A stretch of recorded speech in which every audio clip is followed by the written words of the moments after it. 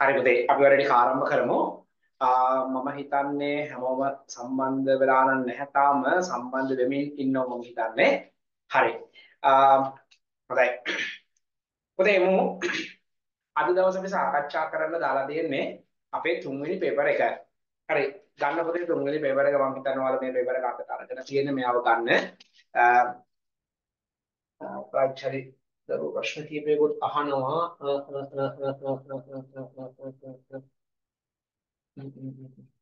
හරි ඔයාලට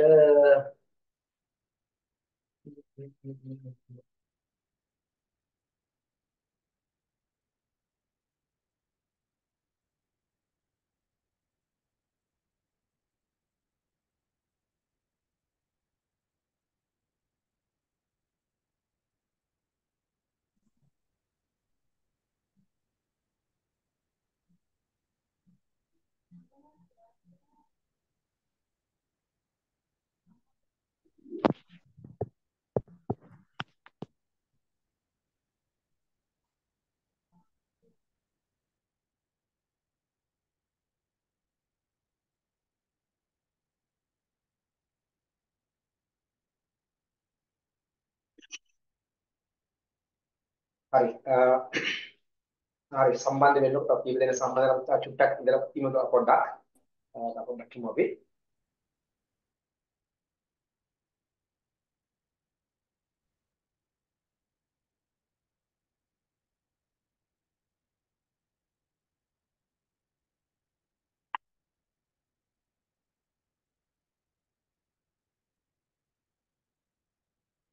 හරි හොඳයි පුතේ අපි අද දවසේ 2024 ඔයාලගේ නොමිලේ අපි සාකච්ඡා කරගෙන යන ඒ කියන්නේ අපේ ෆ්‍රී පේපර් ක්ලාස් එකේ වැඩ ටික අපි ආරම්භ කරන්නට යන්නේ. එතකොට පුතේ අපි ඔයාලට ලබා දීලා තිබිච්ච තුන්වෙනි පේපර් එකට එනවා.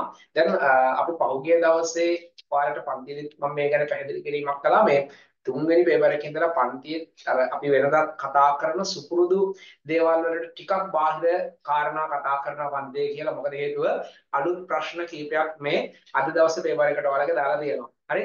එතකොට මම හිතන්නේ ඔයාලා උත්තර ලියද්දී සමහර තැන්වල පුංචි පුංචි ගැටලුකාරී තත්ත්ව වගේ දැනෙන්නත් ඇති. කෙසේ නමුත් මම හිතන්නේ උත්තර හොඳට ලියලා ඇති. අපි බලමු එකින් එක කාරණා පිළිබඳව කොහොමද ඔයාලා මේ පේපර් එකට මුහුණ දීලා තියෙන්නේ කියලා. සාමාන්‍ය ඔයාලා දැන් මේ පන්තියේ මේ අපි ලබා දෙන පේපර් එකට ඔයාලා පන්තියට සම්බන්ධ වෙන්න කලින් උත්තර ලියලා රෙඩි වෙලා ආවොත් තමයි මේකේ සාර්ථකත්වයේ පුතේ තියෙන්නේ. ඒ කියන්නේ එහෙම නැත්තම් මේකේ අපි වර බලාපොරොත්තු වෙන ටාගට්ස් වලට යන්න බැරි වෙයි. ඒ කියන්නේ දැන් අපි දැන් මේ කියන්නේ මේ ක්ලාස් එකෙන් බලාපොරොත්තු වෙන්නේ ඔයාලා ගෙදරදී වැඩ කරනවා කියන එක පිළිබඳව තහවුරු වීමක් කරගන්නනේ. ඒ කියන්නේ ඔයාලා තනියම වැඩ කරන්න ඕන කරගන්න බැරි වෙන කොටසට මම හෙල්ප් එකක් දෙනවා. ඒ නිසා ඔයාලා මේකට සම්බන්ධ වෙද්දී තනියම මේ ප්‍රශ්න වලට උත්තර ලියලා සූදානම් වෙලා එනවා නම් වඩාත් හොඳයි. හරි? හොඳයි. මම එන්නම් පටන් ගන්න දරුවනේ පළවෙනි ප්‍රශ්නය. පළවෙනි ප්‍රශ්නේ පුතේ වලට කියනවා පළවෙනි ප්‍රශ්න සිම්පල් ඒ කොටස වාහනයක ඉදිරිපස තටිරෝධක සහ පසුපස බඳ රෝධක භාවිතා කිරීමට හේතුව පැහැදිලි කරන්න කියලා කියනවා. වාහනයක පුතා ඉදිරිපැත්ත තටිරෝධක තියෙනවා. ඒ කියන්නේ ඩිස්ක් බ්‍රේක් තියෙනවා. පිටිපස්ස රෝද වලට දරුවනේ තියෙනවා මේ ඩ්‍රම් බ්‍රේක් තියෙනවා කියලා කියනවා. අපෙන් අහන්නේ එහෙම රෝදක භාවිතා කිරීමට හේතුව. හරි. දරුවනේ දැන් අපි ගත්තට පස්සේ ඔය මේ ඩ්‍රම් බ්‍රේක් සහ ඩිස්ක් බ්‍රේක් ගත්තට පස්සේ පුතේ ඩ්‍රම් බ්‍රේක් වලයි ඩිස්ක් බ්‍රේක් වලයි තියෙන වෙනස ගැන කතා කරද්දි දැන් ඉදිරිපස රෝද වලට වාහනයක ඩිස්ක් බ්‍රේක් දානවනේ. හරිද? වාහනයක ඉදිරිපස රෝද වලට දානවා ඩිස්ක් බ්‍රේක්. එතකොට දරුවනේ ඩිස් බ්‍රේක් එක දානවා ඉදිරිපස රෝද වලට ඒ වගේම දරුවනේ ඩ්‍රම් බ්‍රේක් එක දානවා පිටිපස නැත්නම් පසුපස රෝද වලට. හරිද? එතකොට මේ ඉදිරිපස රෝද වලට ඩිස් අපෙන් අහන්නේ ඉදිරිපස රෝද වලට ඩිස් එක දාන්නයි පස්සේ නැත්නම් පිටිපස රෝද වලට ඩ්‍රම් එක දාන්නයි හේතුව. එතකොට දරුවනේ මේ අර වැඩි රෝධක බලයක් දෙන්න පුළුවන් පුතේ ඩිස් බ්‍රේක් එකෙන්. හරිද? වැඩි රෝධක බලයක්. හරිද? වැඩි රෝධක බලයක් ඩිස් බ්‍රේක් එකෙන් පුතා දෙන්නට පුළුවන්. හරිද? ඊළඟට ඩ්‍රම් එක ගැන කතා කරද්දී දරුවනේ අර වාහනයක් පාක් කරනකොට අපි කියනවා පුතේ වාහනයක් ගාල් කිරීමේදී ගාල් කරනවා කියන්නේ පුතා පාකින් කියන පොසිෂන් එකේදී. වඩා පහසුවක්. වඩා පහසුවක් ලබා දීමට තමයි පුතේ පසුපස රෝදවලට ඩ්‍රම් එකක් පුතේ දාලා තියෙන්නේ. තේරුණාද මම කියපු දේ? ඒ කියන්නේ පුතේ වාහනයක ඉදිරිපස රෝදවලට ඩ්‍රම් එක දානවා පිටුපස රෝදවල සෝරි ඉස්සරහා රෝදවලට ඩිස්ක් එක දානවා පසුපස රෝදවලට ඩ්‍රම් එක දානවා. එතකොට ඉදිරිපස රෝදවලට ඩිස්ක් එක දාන්නේ වැඩි රෝධක බලයක් දෙන්න. පිටිපස රෝදවල ඩ්‍රම් බ්‍රේක් එක දාන්නකොත් ඒ වාහනයක් ගාල් කරද්දී ඒ කියන්නේ පාකින් කරද්දී වඩා පහසුවක් ලබා දෙන්න. ඒ කියන්නේ වාහනේ නතර කරන අවස්ථාවක දරුවනේ වඩා පහසුවක් ලබා දෙන්න තමයි ඩ්‍රම් එක දාන්නේ. ඒ කියන්නේ වාහනේ නතර කරනවා කියලා කියන්නේ පොතේ දැන් වාහනේ නතර කරද්දී හෑන්ඩ් බ්‍රේක් ලීවර් එක අදිනවා. ඒ කියන්නේ පාකින් බ්‍රේක් කියන ක්‍රියාවලිය අපි දරුවනේ සිද්ධ කරනවා. එතකොට ඇත්තරම හෑන්ඩ් බ්‍රේක් එක සම්බන්ධ වෙන්නේ කේබල් එකක් හරහා පුතා පිටිපස්සේ තියෙන රෝද දෙකට. එතකොට එතන තියෙනවා ඩ්‍රම් එකක්. ඒ ඩ්‍රම් එක තුල තමයි ඒ ලයිනර් ක්‍රියාත්මක වීම එතකොට සිද්ධ වෙන්නේ. ඒක ඩිස්ක් එකකට කරන්නේ නැහැ. පැහැදිලිද මම කියපු දේ? ඒ නිසා හොඳට මතක තියාගන්න ඩ්‍රම් බ්‍රේක් එකකින් කෙරෙන්නේ පිටිපස රෝද වලට දාන ඩ්‍රම් බ්‍රේක් එකකින් කරන්නේ වාහනයක් ගාල් කරද්දී නැත්නම් පාකින් කරද්දී දරුවනේ වඩා පහසුවක් ලබා දෙන්න. එතකොට වාහනයක ඉදිරිපස රෝද ඩිස්ක් කරලා තියෙන්නේ වැඩි රෝධක බලයක් වාහනයට දෙන්න. මම හිතන්නේ ඒ කාරණාව පිළිබඳව ඔයාලට හොඳ අවබෝධයක් එන්නට ඇති. අපි කතා කරමු. ඒක අලුත් කාරණාවක් වෙයි ඔයාලට. අපි කතා කරමුකෝ මෙහෙම. ලියන්න පුතේ මෙන්න මෙහෙම. අපි ඒක හදාගනිමු. මම ওই පේපර් එක වලට ওই ඉඩ දීලා තිබ්බට ලියන්න ඔතන ඉඩ මදි වේ සමහර කරුණු ලියද්දි ඔයාලා කොකටත් උත්තර ලියද්දි වෙනම කොළ සෙට් එකක අපි උත්තර ලියමු. දැන් ඔයාලා මේ මේ පේපර් එකේ print out එකක් එහෙම ගත්තා නම් ඔය හිස්තැන් වල ඔයාලා සමහර විට උත්තර ලියලා ඇති. නමුත් දැන් මම කියන උත්තර ටික වෙනම කොලයක ලියා ගනිමු. ලියන්න පොඩි මෙන්න මෙහෙම ලියන්න. අනිත් එක දැන් අද ඔයාලා සම්බන්ධ වෙනකොට දැන් ඔයාලගේ නම් වලින්ම තමයි ක්ලාස් එකට සම්බන්ධ වෙලා තියෙන්නේ. ඒක වඩාත් හොඳයි. මොකද මේක අර වෙනද වගේ අර අද නැහැ මේ මොනවද? අලුත් අලුත් නම් වලින් දැන් එදා ගිය සතියේම මම හිතන්නේ කිඹුලෙක් එහෙම ඇවිල්ලා ගියා. ගිය සතියේ කලින් සතියේ. ඊට පස්සේ ෆෝන් නම්බර්ස් වලින් ෆෝන් වල නම්බර් වලින් තිබියා සමහර අය. මම හිතන්නේ අද නැහැ. අද හැමෝම දරුවෝ පන්ති ඉන්න දරුවන්ගේ නම් වලින්මයි ඉන්නේ.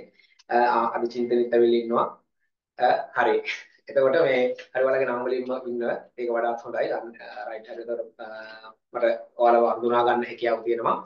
ඔයාලගේ සුපුරුදු නමින්ම පන්තියේ ක්ලාස් එකේ අපි ওই ක්ලාස් කියන අපි ෆ්‍රී පේපර් ක්ලාස් එකට ජොයින් වෙන්න කියලා ජොයින් වෙන්න. එතකොට ඒක වඩාත් හොඳයි. හරි? රයිට් රයිට් සර් පේපර් එක නෑනේ ගෲප් එකේ. ඈ පේපර් එක නෑ ගෲප් එකේ? නෑනේ පේපර් එක දාලා තියෙන්නේ. හරි? ඔයාලට තුන්වෙනි පේපර් එක කියලා මම අපේ ටෙලිග්‍රෑම් channel එකට දාලා තියෙන්නේ. ටෙලිග්‍රෑම් channel එකට දාලා තියෙනවා. ඒකේ ඔය සේරම පේපර් එක තියෙනවා. ඒ පේපර් එක අරන් ඉන්නේ දැවිලි ඉන්න කට්ටිය. පේපර් එක තියෙනවනේ. අපි දාලා තිබුණා. මම ඉන්න බලන්න.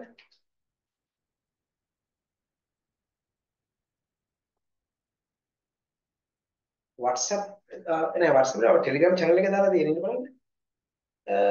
තියෙනවා තියෙනවා. හරි.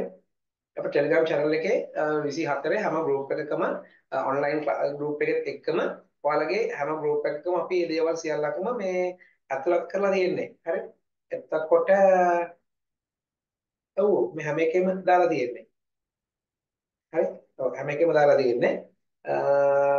ඔව් ධාරකයන් දරුවන 2024 ප්‍රී පේපර් ක්ලාස් එක අප්‍රේල් 22 සඳුදා රාත්‍රී 8 සිට 10:30 දක්වා පැවැත්වේ. ඒ සඳහා සම්බන්ධ වීමට පෙර දීලා තියෙන ඉහත ප්‍රශ්න පත්‍රය කරකට පැමිණෙන්න කියලා ඔයාලට තුන්වෙනි පේපර් එක ඔන්ලයින් පේපර් 3 කියලා දාලා තියෙනවා. හරි?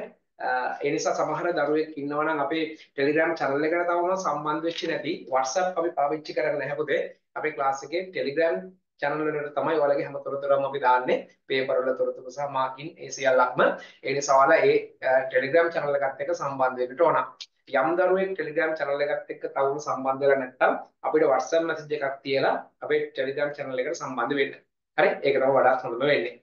හරි මම ඉන්න කතා කරන්නම් පොතේ පළවෙනි ප්‍රශ්නේ ඒ කොටසට ඔයාලා වෙනම කොලයක අපි උත්තර දෙමු මෙන්න මෙහෙම. ලියන්න පොතේ මෙහෙම මුලින්ම ඔව් තැටි රෝධක වලින් පටන් ගමු. මුලින්ම ලියන්න පොතේ තැටි රෝධක කියලා ලියන්නකෝ. පළවෙනි ප්‍රශ්නේ ඒ කොටසට උත්තර ලියමු. තැටි රෝධක කියලා ලියන්න.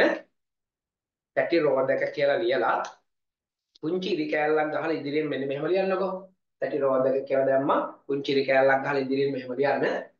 ඊළඟට වැඩි රෝධක බලයක් වැඩි රෝධක බලයක් වැඩි රෝධක බලයක් ලබා දිය හැකි වීම නිසා. වැඩි රෝධක බලයක් ලබා දිය හැකි වීම නිසා. වැඩි රෝධක බලයක් ලබා දිය හැකි වීම නිසා. වැඩි රෝධක බලයක් ලබා දිය හැකි වීම නිසා. හරි. ඊට පස්සේ පුතේ යටින් ලියන්න ඊළඟට දෙවෙනි කෙනා බඳ රෝධක කියලා ලියන්න. යටින් ලියන්න පොතේ ඊළඟට බඳ රෝධක. බඳ රෝධක. බඳ රෝධක කියලා ලියන්න පොතේ මෙන්න මෙහෙම. ලියන්න මෙහෙම වාහනයක් ගාල් කිරීමේදී වාහනයක් ගාල් කිරීමේදී වාහනයක් ගාල් කිරීමේදී කියලා දාලා වරහන් ඇතුළ දාන්න පොතේ පාකින් කියලා දාන්න වාහනයක් ගාල් කිරීමේදී කියලා දාලා වරහන් ඇතුළ දාන්න පාකින් කියලා. ඒ කියන්නේ වාහනයක් පාක් කරනකොට කියලා දහසක් එතනදී දෙන්නේ. වාහනයක් ගාල් කිරීමේදී වරහන් පාකින් කියලා ලියන්න පාකින් කියලා දාලා ලියන්න ගාල් කිරීමේදී වඩා පහසුවක් ලබා දීමට. වඩා පහසුවක් ලබා දීමට. වඩා පහසුවක් ලබා දීමට. වඩා පහසුවක් ලබා දීමට. වඩා පහසුවක් ලබා දීමට. හරි. ඊට පස්සේ හරි. ඊට පස්සේ පොදේ අපි සාකච්ඡා කරනවා. ඔයාලට දෙනවා යාගේ B කොටස. B කොටසෙන් පොතේ දෙන්නේ බඳ වර්ගයේ රෝධකවල හා තැටි වර්ගයේ රෝධකවල වෙනස පැහැදිලි කරන්න. ඒ කියන්නේ පොතේ මේ ඩ්‍රම් බ්‍රේක් එකයි ඩිස්ක් බ්‍රේක් එකයි වෙනස පැහැදිලි කරන්න කියලානේ කියන්නේ. ඩ්‍රම් එකේ ඩිස්ක් එකේ වෙනස පැහැදිලි කරන්න කිව්වහම පොතේ අපි පැහැදිලිව ඩ්‍රම් බ්‍රේක් එකක රූප සටහනකුයි ඩිස්ක් බ්‍රේක් එකක රූප සටහනකුයි පොතේ ඇඳලා අපි කොටස් ටික ලකුණු කරා නම් ඒක හොඳටම ප්‍රමාණවත්. පැහැදිලිද? දැන් පුතේ ඩ්‍රම් එකක් ගත්තාම ඩ්‍රම් බ්‍රේක් එකක් අපි ගත්තාම අපි දකින මෙන්න මෙහෙම මෙයාගේ කොටස් ටික අපි දරුවනේ විස්තර කරනවා. හොඳට බලන්නකෝ. ඩ්‍රම් එකක් ගත්තාම මෙයාගේ තියෙනවා දරුවනේ රෝධක පළු ටික. ඒක මම මෙහෙම විස්තර කරනවා. මෙතන තියෙනවා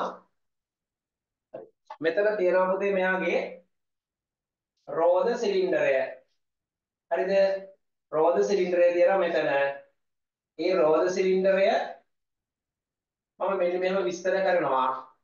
මේ තියෙන රෝද සිලින්ඩරය. හරිද?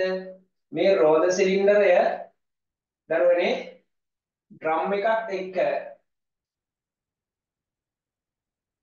ඩ්‍රම් එකත් එක්ක මෙන්න මෙහෙම සම්බන්ධ වෙලා තියෙන්නේ.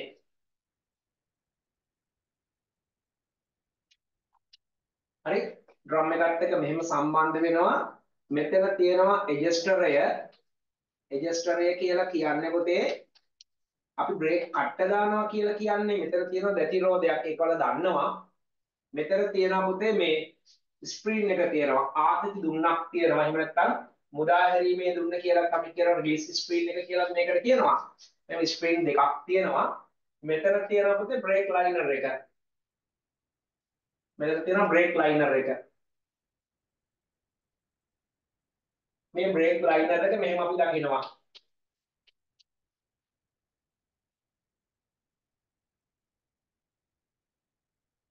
හරි මේ තියෙන පොතේ අපි දකින ඔය ඩ්‍රම් බ්‍රේක් එක. ඒ කියන්නේ බඳ රෝධක මේ දකින්නේ.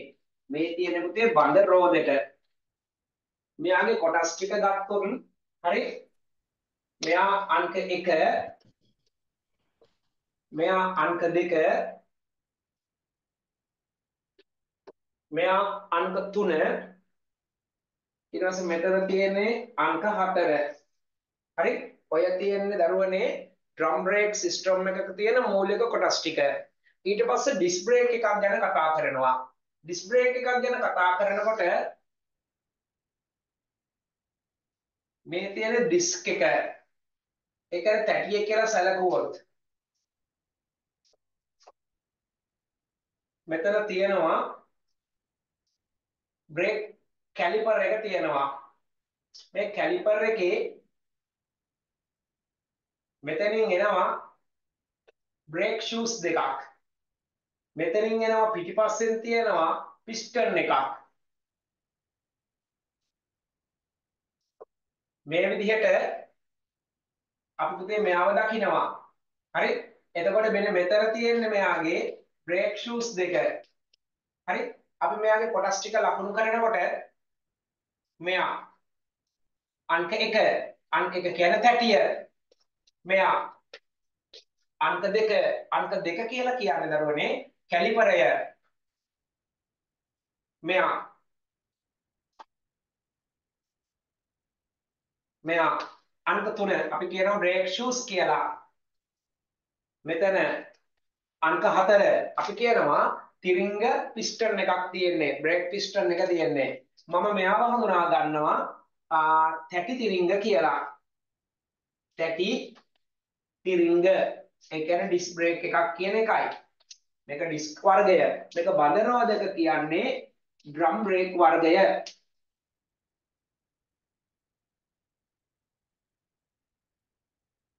Drum brake. මෙයා ඩිස්ක් බ්‍රේක් හරි. ඔන්න පුතේ වර්ගීකරණය.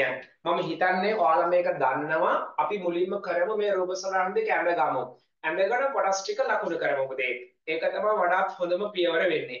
හරි. දැන් ඔයාලා දරුවනේ ලස්සනට මේ රූප සරහන් දෙක ඇඳගෙන කොටස් ටික ලකුණු කරන්න බලන්න. කොටස් ටික ලකුණු කරන්න බලන්න. ඉක්මන් කරන්න බලන්න. හරි. ඉක්මනින් රූප සරහන් ටික අද ගන්න බලන්න.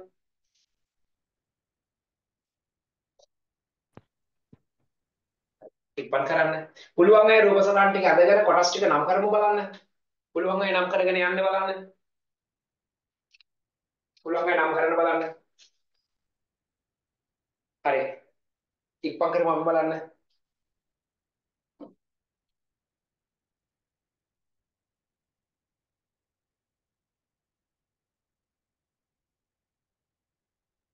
පුළුවන් ඉක්මනින් කොටස් වලට උත්තර ටික ගන්නමු. පුළුවන් අය කොටස් ටික ලකුණු කරන්න.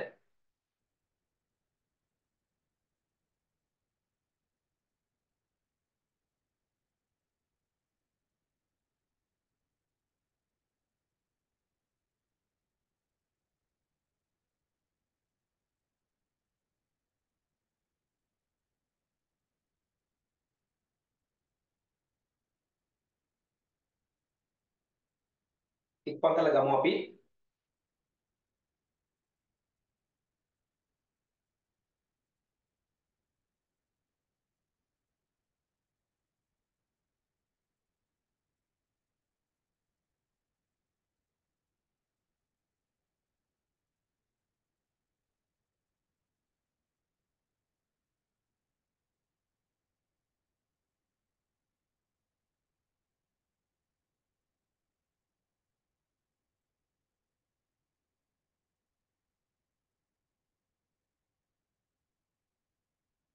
හරි ඉක්මන් කරලා ගන්න බලන්න.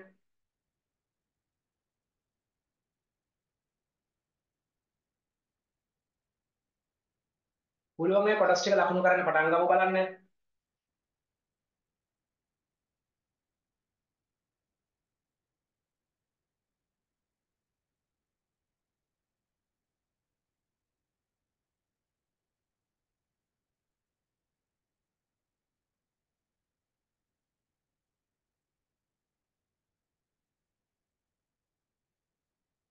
හරි ඉක්මන් කරන්න.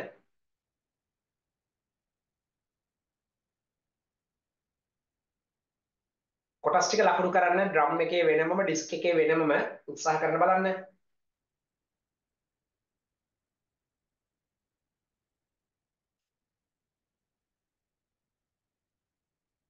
වැඩි ඉවර නම් කියන්න.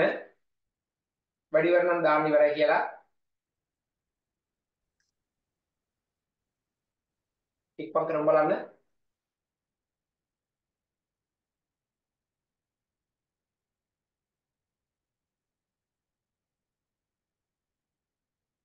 තාම ඉවර නැද්ද?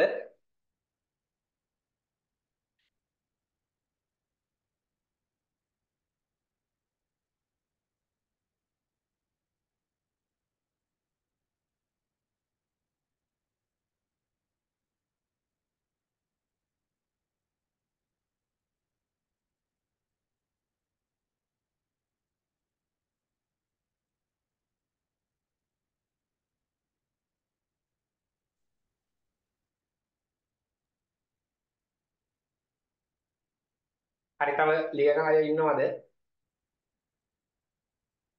තව නෝට් කරන අය ඉන්නවනම් කියන්න මට බලන්න. ඒ කියන්නේ අඳින අය ඉන්නවනම් අඳින අය ඉන්නවනම් මට කියන්න. රික්මි ඇඳ ඉවරද පුතේ? රික්මි ඇඳ ඉවරද? අනිත් අයගේ තත්ත්ව කොහොමද මට පොඩ්ඩක් කියන්න. චින්තා වැඩි ඉවරද වාගේ පුතේ? නෙවන් මේ වැඩි ඉවර නම් කියන්න.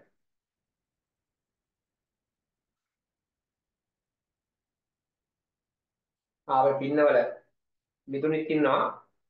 මිතුනි වැඩි ඉවර නම් කියන්න. රයිට් හරි. ආ තව අඳිනවා කියලා කියන සමහර දරුවෝ ආ එකට ඉක්මනින් අඳින්න. ඇඳලා පුළුවන් නම් කොටස් ටික නම් කරන්න. කොටස් තුන හතරක් නේ තියෙන්නේ. ඒ ටික බලන්න නම් කරන්න උත්සාහ කරන්න.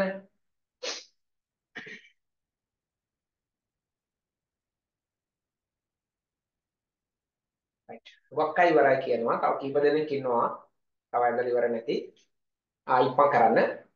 පුළුවන් නම් ඇඳලා කොටස් ටික ලකුණු කරන්න පටන් ගන්න. ඉක්මන් කරලා ගමු අපි.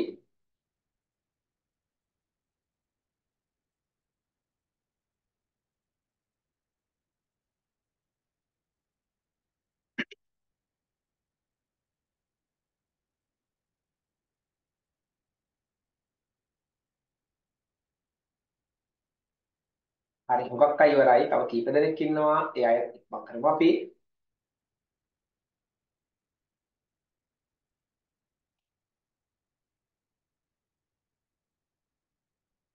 හරි. මම හිතනවා තව අඩුපාඩු නැතිව ඇති කියලා. මේ ටික නෝට් කරගත්තට මේ ටික අපි නෝට් කරගමු නේද ඊට පස්සේ. හරි. තව ඉන්නවා නම් ඒ අයට අගන ඇද ගන්න. මේත් එක්කම පුංචි දැනුවත් කිරීමකුත් කරන්නම් පුතේ. දැන් මේ අපි මේ පාර මම ඔයාලට පන්තිවලත් අපි දැනුවත් කිරීම කළා. 2023 අවුරුද්දේ O level කරන්න හිටපු නමුත් 24 අවුරුද්දේ O level exam එක කල් යාමත් එක්ක විභාගේ කල් ගියපු මැයි 6 වෙනිදා exam කරන්න සූදානමින් ඉන්න ඔයාලගේ නංගිලා මල්ලෙලා ඉන්නවා 11 වසරේ. අපි ඒ වෙනුවෙන් සමාජ සත්කාරයක් අපි ආරම්භ කළා පොතේ. අපි ඒකේ ආරම්භක දවස් විදිහට අද ඒ කියන්නේ මේ අද සඳුදානේ සමුද පාන්දර අපි එයාලගේ ආරම්භක සම්මන්ත්‍රණය අපි දරුවනේ ආරම්භ කළා. මම ඔයාලට පන්ති වල දී පිළිබඳව දැනුවත් කිරීම කළා.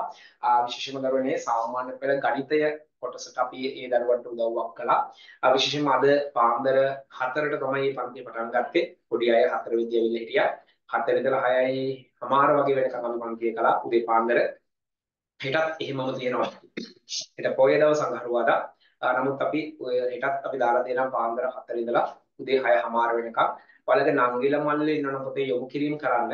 අපි මේ මාසේ 4 වෙනි සෙනසුරාදා වෙනකම් සතියේ දිනවල අපි දාලා තියෙන ටයිම් ටේබල් වල ඒ කියන්නේ දින 11ක් අපි අරගෙන ඒ දවස් 11 ඇතුළත සිලබස් එකේ අපි සියලුම කොටස් ආවරණය වෙන විදිහට ප්‍රශ්න සාකච්ඡා කරලා කරුණු මතක් කිරීමක් අපි ඒ දරුවත් එක්ක සාකච්ඡා කරනවා.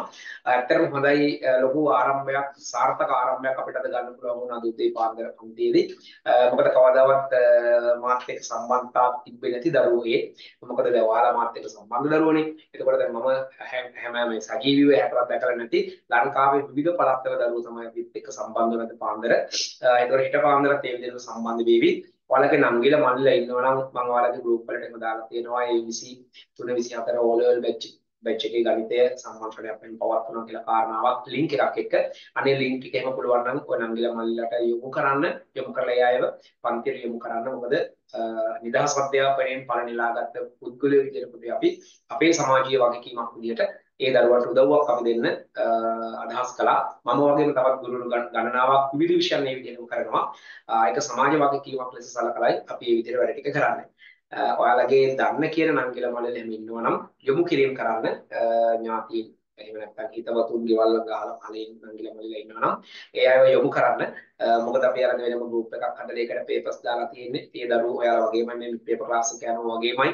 ඒ අයලා වෙනමම පේපර් සෙට් එකක් අපි දීලා තියෙනවා එයාලා පේපර්ස් print out අරගෙන තමයි පන්තියට සූදානම් වෙන්නේ එතකොට අපි හෙට උදේ දෙවෙනි දවස් විදිහට මේ පන්තිය අපි සාර්ථකව කරන්න බලාපොරොත්තු වෙමින් ඉන්නවා දන්න කෙනා නංගිලා මල්ලිලා ඉන්නවනේ පුතේ ඔයාලගේ යොමු කිරීම කරන්න. හරි. ඒ වගේම මේ 6 වෙනිදාගෙන් පස්සේ අපි මේ ඊළඟ අවුරුද්දේ ඔලවල් ලියන 11 වසරේ ඉන්න ඔයාලගේ නංගිලා මල්ලිලා වෙනුවෙන් අවුරුද්දක්ම නොමිලේ ඒ අයට සාමාන්‍ය පෙළ ගණිතය පන්තියක් අපි කරනවා මමයි කරන්නේ පන්තිය. ඒ නිසා දන්න කියන නංගිලා මල්ලිලා ඉන්නවනේ ඔයාලගේ යොමු කිරීම කරන්න ඊළඟ අවුරුද්දේ ඔලවල් බැච් එකේ ඉන්න සම්පූර්ණයෙන්ම නොමිලෙම අපි එයාට අවුරුද්දක්ම සිලබස් එක මුලින් ඉඳලා අගට පිළිවෙලින් පේපර්ස් එක්කම ටියුට්ස් එක්කම එයාලට අපි ගණිතේ පන්තියක් සම්පූර්ණයෙන්ම නොමිලේ ලංකාවේම දරුවන්ට අපි කරලා දෙනවා. ඒ නිසා දන්න කියලා නංගිල මල්ලිලා ඉන්නවනම් යොමු කිරීම කරවන්න උත්සාහ කරන්න. හරි. දැන් අපි මෙයාගේ කොටස් ටික පොතේ ලකුණු කරමු. බන්ධරෝධක කියලා තැන අපි මෙන්න මෙහෙම නෝට් කරමු. ඔයාලා ලියලා නැත්තම් බලන්න. අංක 1 කියන්නේ පොතේ මෙන්න මෙයා අපි මේකට කියනවා රෝධ සිලින්ඩරය. ලියන්න පොතේ අංක 1 රෝධ සිලින්ඩරය. අංක 1 කියන්නේ රෝධ සිලින්ඩරය. අංක දෙක කියන්නේ පුතේ රෝදක පළු. අංක දෙක කියන්නේ රෝදක පළු. රෝදක පළු. අංක තුන කියන්නේ පුතේ මෙයා අපි මේකට කියනවා මේ මිදුම් දුනු කියලා කියනවා. එහෙම නැත්නම් මේ සීරු මාරු දුනු කියලා කියනවා. මිදුම් දුනු කියලා දාගන්නකො එක වඩාත් හොඳයි. එහෙම නැත්නම් දුනු කිව්වත් ගැටලුවක් නැහැ. මිදුම් දුනු. මිදුම් දුනු. ඊට පස්සේ අංක 4 කියන්නේ පුතේ ලියන්න ඇඩ්ජස්ටරය. එක සීරු මාරු කරණය කිව්වත් හරි. එහෙම නැත්නම් ඇඩ්ජස්ටරය කියලා ලියන්න. ඇඩ්ජස්ටරය. ඔක සාමාන්‍යයෙන් අපි කියන්නේ බ්‍රේක් කට්ට දානවා කියන වැඩේදී පාවිච්චි කරන ටූල් එකක්. ඇඩ්ජස්ටරය අංක 4 කියන්නේ ඇඩ්ජස්ටරය. හරි. ඊට පස්සේ එන්නකො තැටි රෝධක නැත්නම් තැටි තිරිංග ගැන කතා කරන්න. තැටි තිරිංග ගැන කතා කරන තැන ලියන්න පුතේ අංක 1 කියන්නේ මෙන්න මෙයා මේ හරියෙන් නම් කරගන්න තැටිය. අංක 1 කියන්නේ පුතා තැටිය. තැටිය කියන්නේ ඩිස්ක් එකක්. තැටිය. අංක 2 කියන්නේ මෙයා.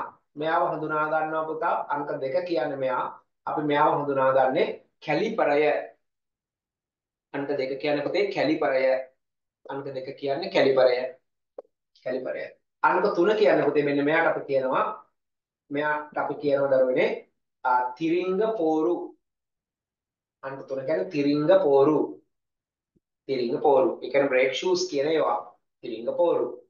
ඊට පස්සේ අංක හතර කියන්නේ අංක හතර කියනවා දරුවනේ තිරිංග පිස්ටණය අංක 4 කියන්නේ තිරිංග පිස්ටණය අංක 4 කියන්නේ මොකක්ද තිරිංග පිස්ටණය හරි හොඳයි දැන් අපි ඔය වර්ග වර්ගීකරණය කළානේ කරලා පුතේ ඔතන යටින් හරි ඔතන යටින් පුතේ අපි ලියා ගමු මේ බඳ රෝධකවල සහ තැටි රෝධකවල තියෙන දැන් අපි වෙනස්කම අහනවනේ හරි අපි පුංචි විස්තරයක් ඒ නිසා මේ දෙන්න ගැන ලියමු මෙන්න මෙහෙම හරිද හරි අපි මේ දෙනකට පුංචි විස්තරයක් ලියමු.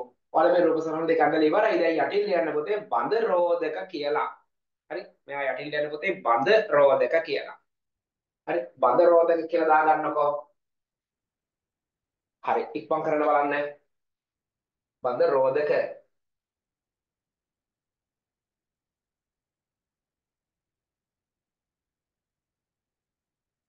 කරන්න අපි දැන් යන්නේ පොතේ බඳ රෝධක සහ තැටි රෝධක පිළිබඳව වෙන වෙනම දරුවනේ එයාලගේ තියෙන සම්බන්ධතා සහ එහෙම නැත්නම් එයාලගේ තියෙන යාන්ත්‍රණයන් එහෙම හැසිරීම ගැන සාකච්ඡා කරන්නට. හරි. මෙන්න මේව ලියනවා පොතේ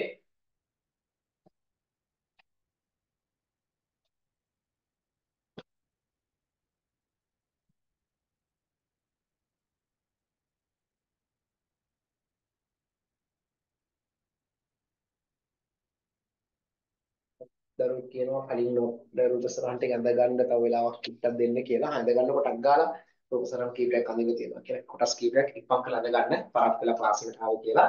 හරි.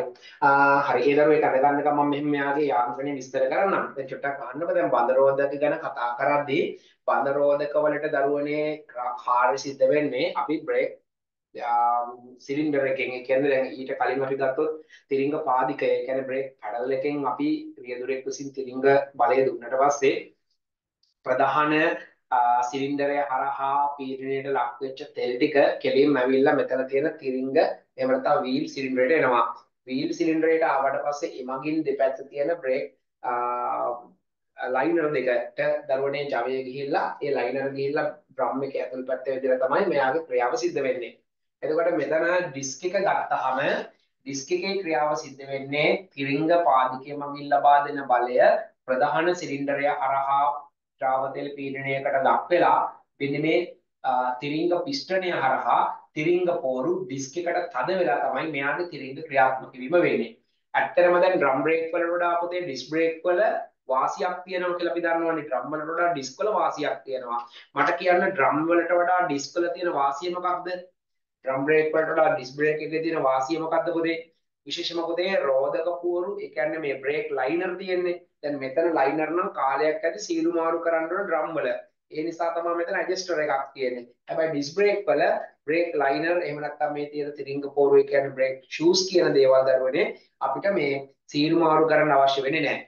ඒ වගේම පොතේ මෙයාගේ වැයවන ඉඩ ප්‍රමාණය අඩුයි. මෙතන ලොකු ඉඩක් වැය වෙනවා රෝදෙට තිරිංග ක්‍රියාත්මක කරන්න මෙතන ලොකු ඉඩක් වැය වෙන්නේ නැහැ. ඒ වගේම මොකද ඩිස්ක් බ්‍රේක් ගත්තට පස්සේ විශේෂයෙන්ම මේ රෝදක වල ඒ කියන්නේ දැන් අර විශේෂයෙන්ම දරුවනේ මේ අර රෝදක වලෙහි ප්‍රමාණය රෝදය අණුව තීරණය වෙනවා.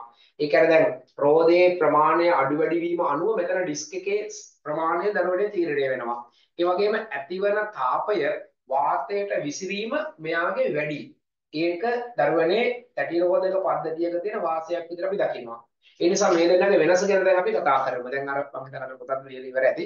ලියන්නේ මෙහෙම බන්දරෝදෙදි කියලා දාලා ලියන්නේ මෙහෙම රියදුරා විසින් රියදුරා විසින් රියදුරා විසින් රියදුරා විසින් තිරිංග පාදිකය රියදුරා විසින් තිරිංග පාදිකය රියදුරා විසින් තිරිංග පාදිකය ක්‍රියාත්මක කිරීමත් සමග රියදුරා විසින් තිරිංග පාදිකය ක්‍රියාත්මක කිරීමත් සමග ක්‍රියාත්මක කිරීමත් සමග තිරිංග තෙල් තිරිංග තෙල්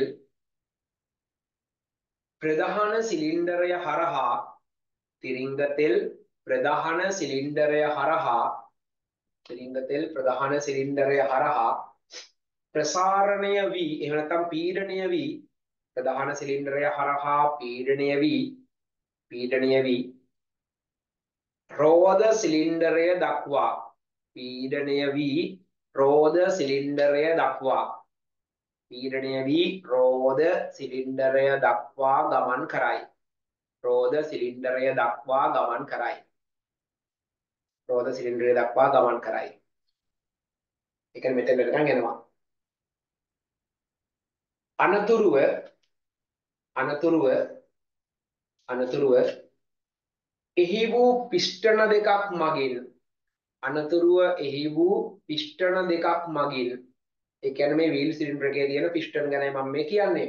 අනතුරුව එහි වූ පිස්ටන් දෙකක් මගින් අනතුරුව එහි වූ පිස්ටන් දෙකක් මගින් රෝධක පළු රෝධක පළු රෝධක පළු දෙපසට ක්‍රියාත්මක වී රෝධක පළු දෙපසට ක්‍රියාත්මක වී රෝධක පළු දෙපසට ක්‍රියාත්මක වී දෙපසට ක්‍රියාත්මක වී බඳෙහි බඳෙහි වැදීමත් සමග බඳෙහි වැදීමත් සමග බඳෙහි වැදීමත් සමග තිරිංග ක්‍රියාත්මක වේ තිරිංග ක්‍රියාත්මක වේ.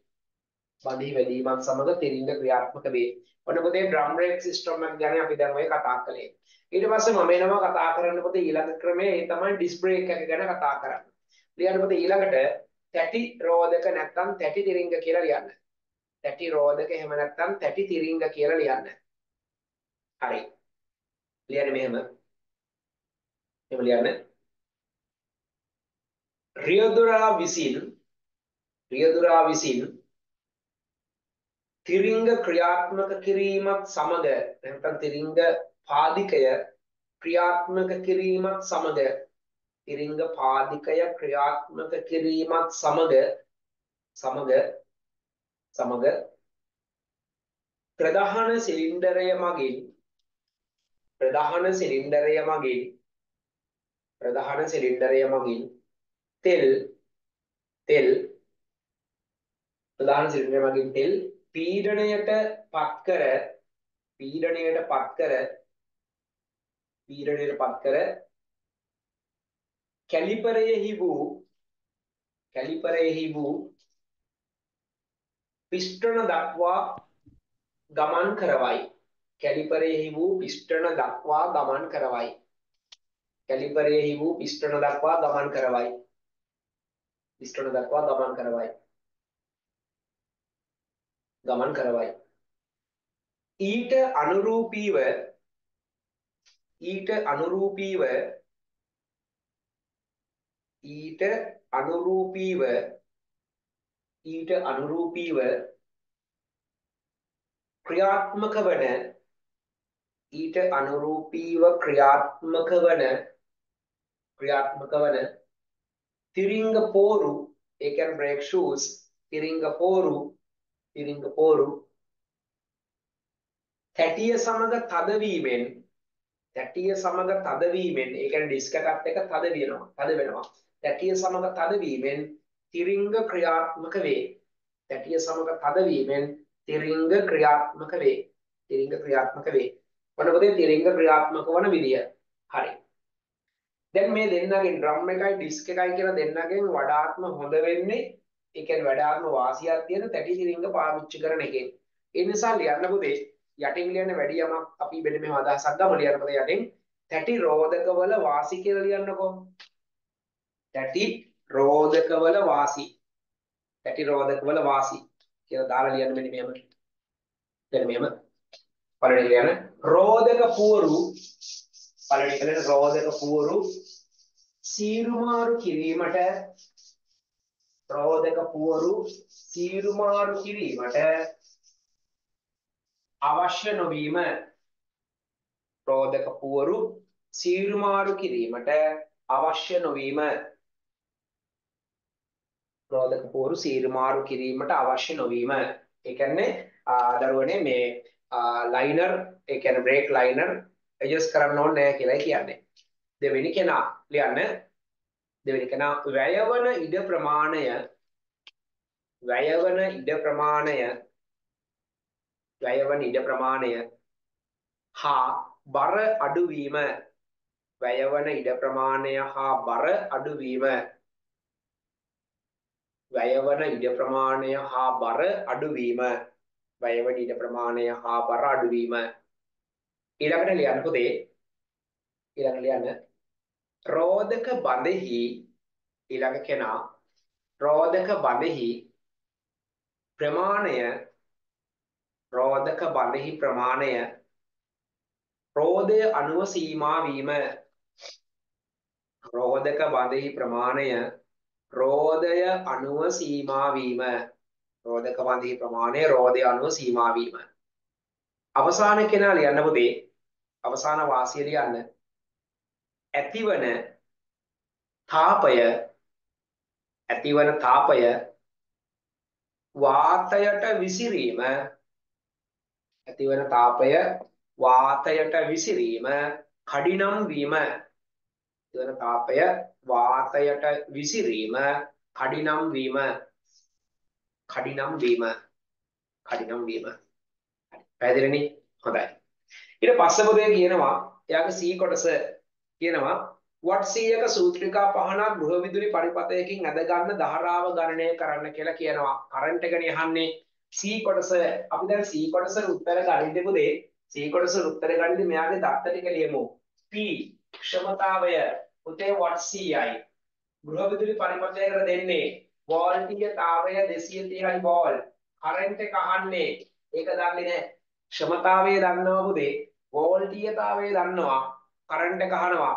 එහෙනම් අපි දන්නවා සම්බන්ධතාවයක් පුතා P සමානයි VI කියලා සූත්‍රයක් දන්නවා.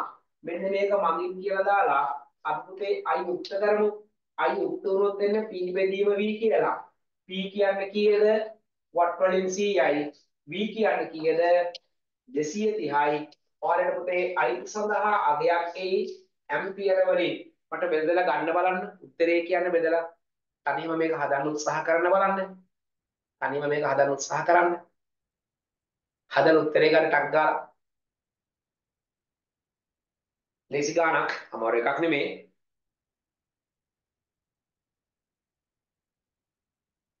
ආපු උත්තරේ මට ටක් ගාලා දාන්න කියන උත්තරය ආව කියලා.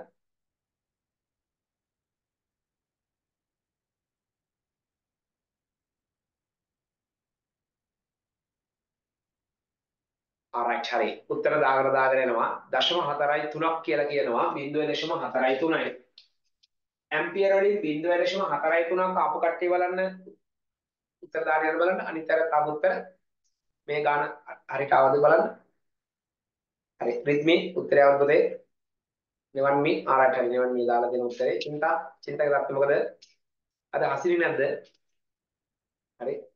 පසන් ඖෂධගේ උත්තරය ආවේ නෑ තාම. උත්තර දාන්න බලන්න තියෙන දරුවෝ ටික. හරි. මිතුනි අපේ පින්නවල උත්තරය අවනම් බලලා දාන්න ටට්ටක් ගාලා කැල්ල එකක් අරන් ටට්ටක් ගාලා දැනුමටස් ගාලා සුළු කරන්න. එතකොට ඔය කියන විදිහට උත්තර ටික ලැබෙයි ඔයාලට. ඒවල මේ ප්‍රකාශකයේදී සාමාන්‍ය මමත් එක්ක මුහු වෙලා වැඩ ටික කරන්න. දැන් ඒත් එක්කම දැන් අපි ඔයාලට අපි එක්සෑම් ලඟ වෙනකොට ඔයාලට පොතේ මේ විශේෂයෙන්ම දැන් පාස් පේපර්ස් සාකච්ඡාවක් අපි කොහොමම මේ ක්ලාස් එක කරාම අපි කරනවා මොකද පාස් පේපර්ස් වලට අපි දැන් අපි රිවිෂන් එකෙත් අපි සුපර් වෙක්ෂන් පේපර්ස් කියලා අපි පාස් පේපර්ස් තමයි සාකච්ඡා කරන්නේ. එතන සාකච්ඡා කරන පාස් පේපර්ස්. නමුත් අපි මෙතනදිත් අපි එක්සෑම් ලඟ වෙලා ආයවතාවක් මම ඔය ටික කරලා දෙනවා මේ ක්ලාස් එක හරහා. මම ඒක විභාගයේ ලඟ වෙද්දී මොම කරමු කියලා කිව්වොත් සිලබස් එකේ තව වැඩ ගොඩක් අපි අතින් වුණාම ලේසි පේපර් එකක වැඩ ටික කතා කරගෙන යන්න. හරි ඒ නිසා අපි යහුසුළු ඒ සඳහා සූදානම් වෙමු. හරිවලමත් එක්ක හරියට සම්බන්ධ වෙලා වැඩ ටික කරගෙන යන්න. හරි දරුවන්ගේ උත්තර එනවා. හරි දරබඩස් ගාලා උත්තර වැටිගෙන වැටිගෙන එනවා. හරි. හොඳයි. දශම 4යි 3ක් කියලා කියනවා හැමෝම. හරි. ඊට පස්සේ පොතේ කියනවා D කොටස වලය පරිපත සඳහා ඇම්පියර 13 පේනු භාවිතා කිරීමට හේතු පැහැදිලි කරන්න. පුතේ වලය පරිපත සඳහා දැන් අපිට මතකයි රින් සර්කිට් එක මතකයිනේ. රින් සර්කිට් එකක් කියලා කියන්නේ පොතේ ගෘහ විදුලි පරිපතයක විශේෂයෙන්ම දරුවනේ දැන් කෙවෙනි පරිපතවල විශේෂයෙන්ම ඇම්පියර 15 පරිපත එහෙම නැත්නම් ඇම්පියර 15 ප්ලග් පොයින්ට් දාන්න වෙන පරිපතවලට ඇම්පියර 15 දාන්නේ නැතුව ඇම්පියර 13 ප්ලග් එකක් දාලා ඒ සඳහා දරුවනේ ඇම්පියර 32ක එක MCB එකක් දාලා අපි පරිපත විශේෂයක් හදා ගන්නවා. ඕකනේ වලය පරිපත කියන්නේ. ඔයාලට මතකයි වලය පරිපත ගත්තට පස්සේ. හරි? වලය පරිපත ගත්තට පස්සේ වලට මතකයි මම ඒක අඳින්නම් මෙන්න මේ විදිහට අඳින්නම්. රින් සර්කිට් එකක් නිසා මම මෙහෙම අඳින්නම්. අවස්ථා තුනකින් අඳින්නම් මේක ටිකක් වෙනස් කරලා තියරි පන්තිය වල මේක ඉගෙන ගත්තට වඩා චුට්ටක් වෙනස් කරලා මම අඳින්නම්.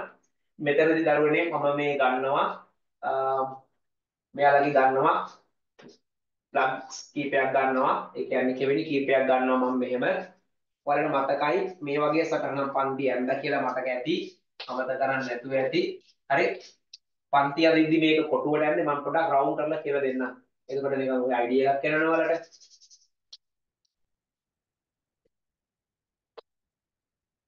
හරි. මෙයාට අපි දන්නවා මේ පැත්ත නියුට්‍රල් ලයිව් කියලා අපි දන්නවා. හරි. එතකොට මම මෙතනදී එතකොට මෙයාගේ නියුට්‍රල් මෙයා earth. මෙයා live ඊට පස්සේ මෙයා neutral earth live මෙයා neutral earth live දැන් මෙතනදී කරන්න පොතේ මෙන්න මෙහෙම දෙයක් මම මේ පැත්ත චුට්ටක් මකන්න නැත්තම් ඒක ගොඩේ වගේ තියෙනවනේ හරි දැන් මම පැහැදිලි කිරීමක් කරලාම ඔයාලට උත්තරේ කියලා දෙන්නම් චුට්ටක් බලාගෙන ඉන්න මම මෙතනදී මම ගන්නවා Uh, මේ සිස්ටම් එකේදී මම ගන්නවා කෙලින්ම uh, ලයිව් එක මෙතනින් ගන්නවා කෙලින්ම. මේ තියෙන ලයිව් එක. මේ වලල්ල සේරම ලයිව් එක තියෙන්නේ. මම මේ මෙයාගේ ලයිව් එක මෙතෙන් සෙට් කළා. මෙයාගේ මේ ලයිව් එක මෙතෙන් සෙට් කළා. හැමෝගේම ලයිව් ටික සෙට් කරනවා. මෙයාගේ මේ ලයිව් එක මේ වලල්ලට සෙට් කරා.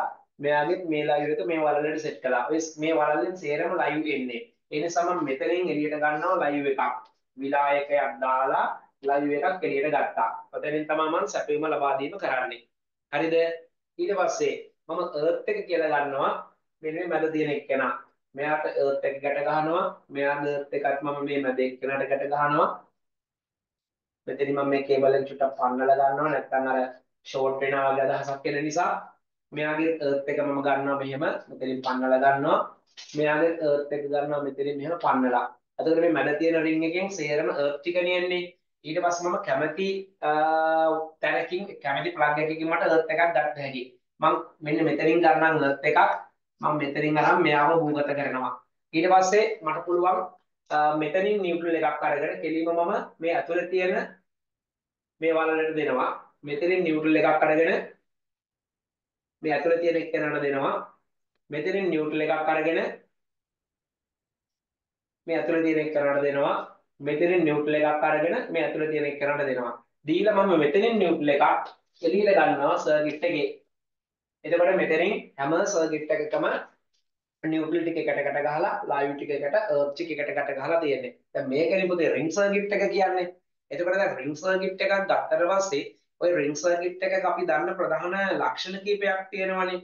මේ සඳහා දාන්නේ ඇම්පියර් 13 කෙවෙනි පිටුවාන. ඒකට හේතුව තමයි දරුවනේ අර කෙවෙනි පිටුවාන ඇම්පියර් 13 කියලා කිව්වහම සාමාන්‍යයෙන් දරුවනේ මේ වෙන සාමාන්‍යයෙන් ඕකට දරුවනේ පරිගණක වගේ උපකරණ තමයි වෙනද ඇම්පියර් 13 තනි කෙවෙනි පිටුවානකටම වෙනද සම්බන්ධ කළේ. හැබැයි මේ අවස්ථාවේදී කෙවෙනි පිටුවාන ඇම්පියර් 13 යොදා ගන්න හේතුව තමයි අපි මේ මුළු පරිපතයම සඳහා දාන්න පොතේ ඇම්පියර් වලින් 32ක 1 MCB එකක්. මේක පරිපතයක් විදිහට සලකද්දී ඇම්පියර 32 හරි 1 MCB එකයි අපි දාන්නේ. මේ මුළු පරිපතයටම. දාන කම්බි වල සයිස් එක එක ඇල ඉරක් දශම 6යි 7යි මිලිමීටර් රැහැන් තමයි අපි පාවිච්චි කරන්නේ. හරිද? ඔන්න ඔය හේතු නිසා තමයි මේ පරිපතයට ඇම්පියර් 13 ප්ලග් පොයින්ට්ස් පමණක් යොදාගන්නේ. ඒක අපි ලියමු මෙන්න මෙහෙම. භාවිතා කිරීමට හේතුව පැහැදිලි කරන්න කියලා කියන්නේ. අපි ලියමු හේතුව පොතේ. ලියන්න මෙන්න මෙහෙම. අපි ලියමු හේතුව ලියන්න පොතේ. මෙහෙම ලියන්න.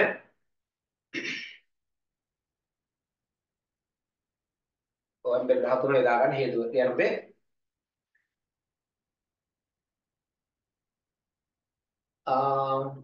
හරි.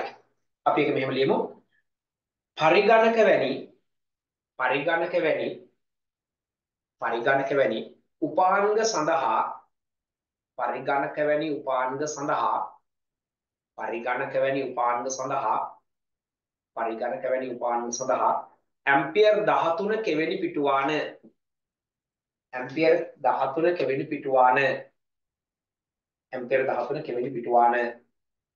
භාවිතා කළ අතර භාවිතා කළ අතර භාවිතා කළ අතර කෙවෙනි පිටුවානවලදී භාවිතා කළ අතර කෙවෙනි පිටුවානවලදී කෙවෙනි පිටුවානවලදී කෙවෙනි පිටුවානවලදී ඇම්පියර් 13 වර්ගය ඇම්පියර් 13 වර්ගය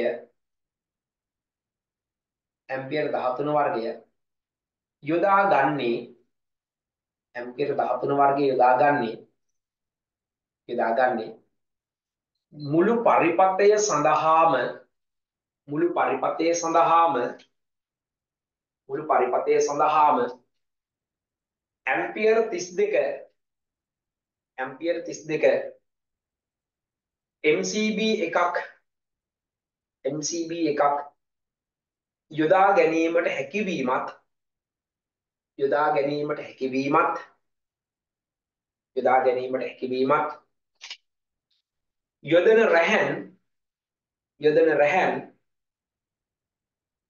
එක ඇල ඉරක් බිඳුවයි දශම හයයි හත මිලිමීටර්.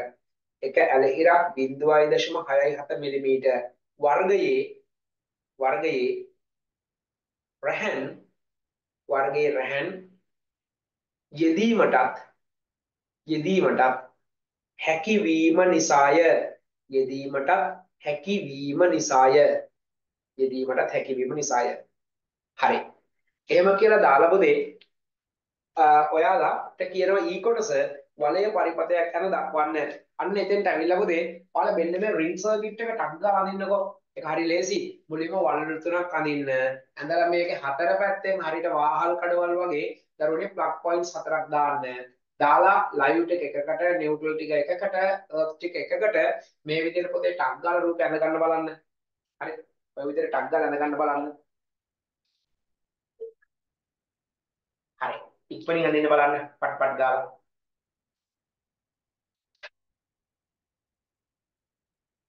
හරි ලේසි වලඩු තුනක් ඇඳලා ඒකට එක එක වලලට ලයිව් ටික වෙනම නියුට්‍රල් ටික වෙනම අර්ත් ටික වෙනම ඇඳ ගන්න. එච්චරයි තියෙන්නේ කරන්න.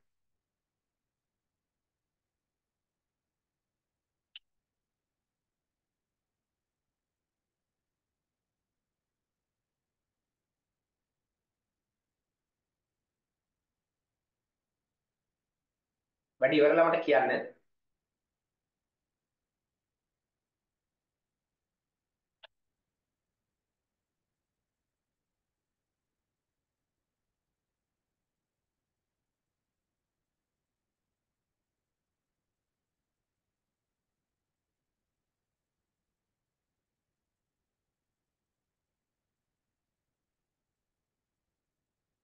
හරි. ඇඳලා ඉවර නම් කියන්න මට. ඇඳලා ඉවර දරුවෝ කියන්න. ඇඳලා ඉවර නම් කියන්න.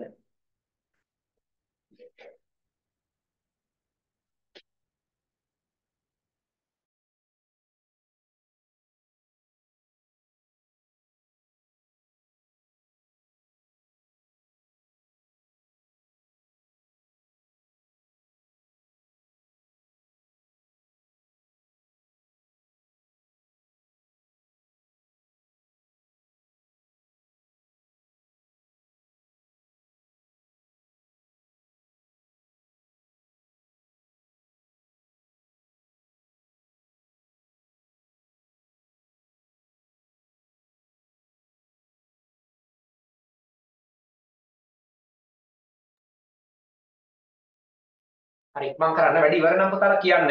වැඩි ඉවර නම් කියන්න.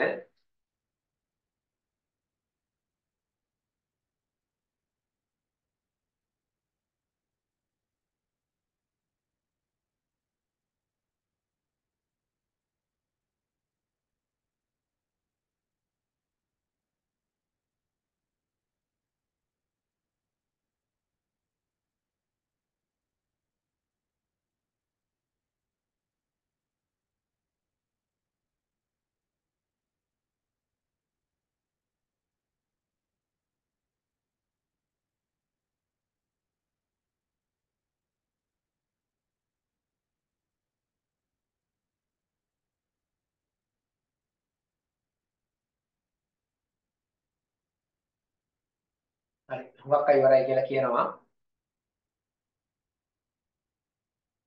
හරි. තව මේ කරන ඉන්නවද?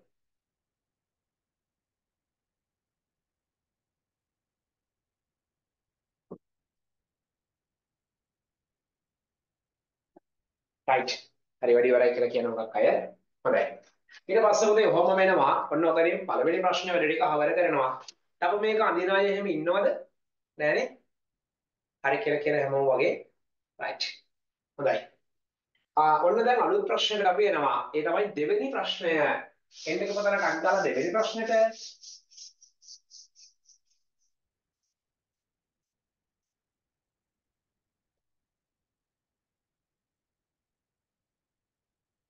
හරි.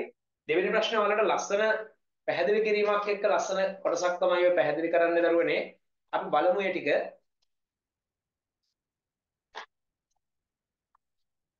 හරි. හරි. ඔයාලට දරුවනේ ලස්සන තියරි කොටසකුත් මේකත් එක්ක දරුවනේ කියලා දෙන්න කියලා දෙන්නම් මම. මෙතන කියනවා මෙහෙම දෙවෙනි ප්‍රශ්නේ කියන්න පුතේ මෙහෙමයි. සැලසුමක සම්මත සංකේත උපාංග පහත දීලා තියෙනවා කියලා කියනවා. හරි. ඊට පස්සේ කියනවා ඔයාලට පොතේ මෙතන කියනවා දැන් මේ දීලා දෙන සැලසුමේ දැන් ඔය සංකේත ගත්තාම කැපිටල් A කියලා කියන්නේ පොතේ ස්විච් කියලා අදහසනේ කැපිටල් A කියන්නේ ස්විච් ඒ කියන්නේ තනිද්‍රව ස්විච් ද්විදව ද්විදව ස්විච් එහෙම නැත්නම් තනිද්‍රව ස්විච් දෙමන් ස්විච් සහ අතරමැදි ස්විච් වගේ තමයි කතන්දරේ දීලා තියෙන්නේ B කියලා කියන්නේ පොතේ ඔයාලට දීලා තියෙන්නේ පන් කාවක සංකේතය විදුලි පන් කාවක් C කියලා කියන්නේ පොතේ ඔතන දීලා තියෙන්නේ මේ සූත්‍රිකා පහනක් දීලා තියෙන්නේ ඊට පස්සේ D කියලා කියන්නේ පුතේ මොකක්ද? කෙවෙනි පිටුවාණක්. අපි ඒවා සංකේත දන්නවා. ඊට පස්සේ පුතේ E කියලා කියන්නේ DB distribution board එක. ඒ කියන්නේ බෙදා හැරීමේ පුවරුව. ඒ කියන්නේ අපි දන්න දරුවනේ ඔය මේන් ස්විච් එක, ට්‍රිප් ස්විච් එක, MCB තියෙන බොක්ස් එකක් තියෙන එකද අන්න ඒක තමයි distribution board එක කියන්නේ.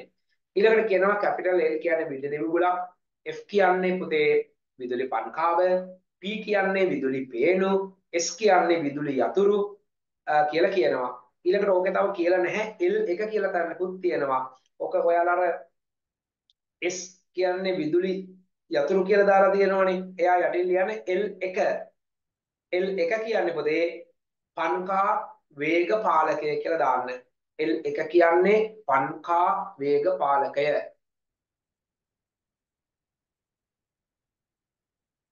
පන්කා වේග පාලකය. හරි. Uh, right. හරි. ඒක හරි.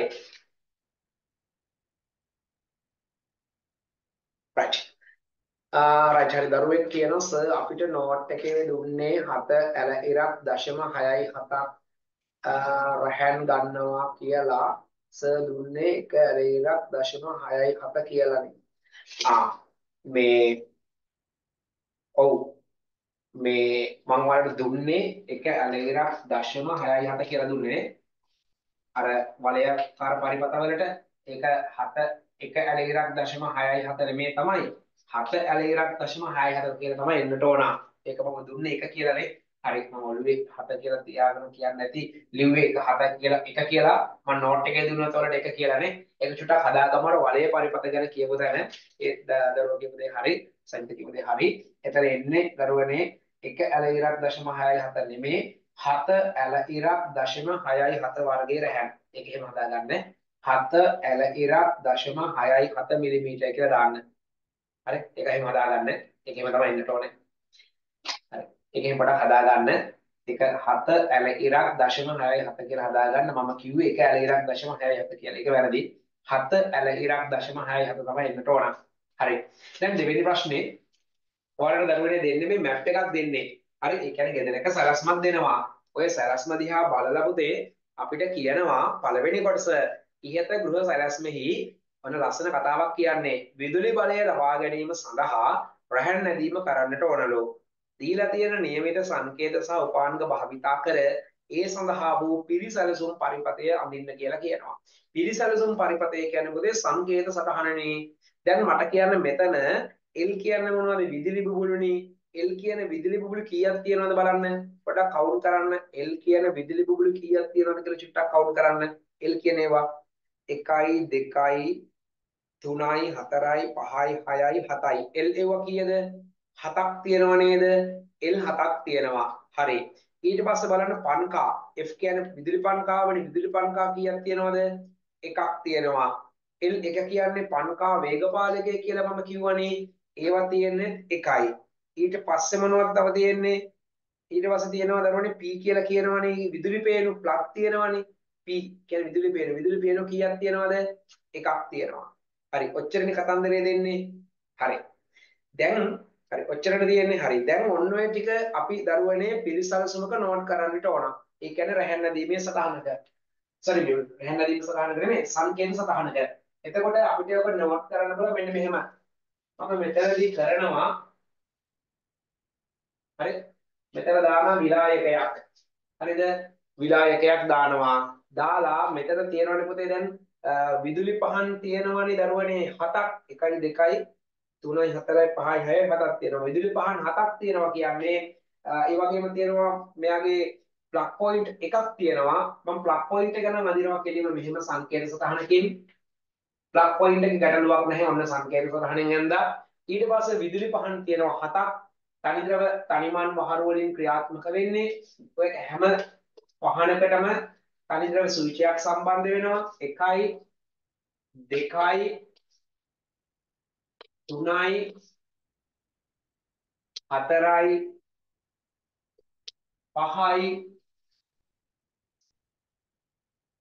6යි 7යි 1යි 2යි 3යි 4යි 5යි 6යි 7යි ඔන්න බල් පහට ස්විච් පහකුත් දැම්මා. ඊට පස්සේ තව තියෙනවා මොකක්ද මේකේ? තව තියෙනවා විදුලි පන්කාවක් තියෙනවා. එක පන්කාවයි එක වේග පාලකයයි. පන්කාවක් තියෙන නිසා පොතේ පන්කාවේ පාලනය කරන සංකේතය වේග පාලක සංකේතය පුතේ මෙන්න මේ මේ සිම්බල් එක. මම ඒක ටිකක් ලොකුවට අඳින්නම් ඊතලයක් එනවා මෙන්න මෙහෙම. මේ ඊතලයක් එන්නේ විචල්ලය කියලා අදහසක්. මේ ස්විච් එකම තමයි විචල්ලය කියලා මෙහෙම සංකේතයක් දාන්න. ඊට පස්සේ පන්කාවේ සංකේතය මෙන්න මෙහෙම. හරි? මැදට බෝලයක් එනවා දෙපැත්තට පෙති දෙක එනවා. පන්කාවේ පෙති දෙක එනවා. පැහැදිලිද? හරි. මේ ස්විච් එක මැදලා හරස් අතර තිරස් අතර දාන්න පොතේ ඊතලයක්. ඒකෙන් තමයි ඔය වෝල්ටේජ් රෙගියුලේටර් එක හෙවත් පන්කාවේ වේග පාලක ස්විච් එක ගැන අදහසක් එන්නේ. ලස්සනට මේව දරුවනේ නෝට් කරගන්න බලන්න. ටිප්පම් කරන්න. හරි. ඉක්මන් කළ ගනිමු අපි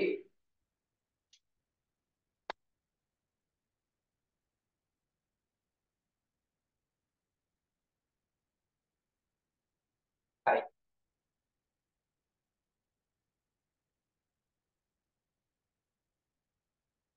right ඉක්මන් කරන්න.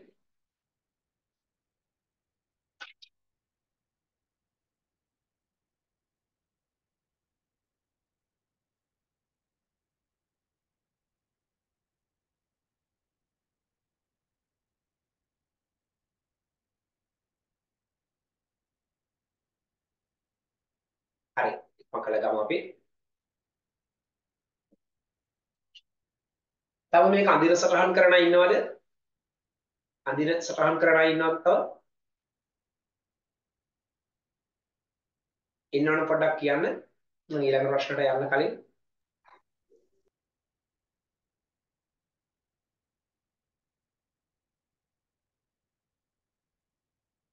නෑ වගේ නේද? වැඩි වෙනද කට්ටියම අඳින කට්ටිය තව ඉන්නවනම් කියන්න. මම ඊළඟ කොටසට ආයින්නම් ටික වෙලාවක්.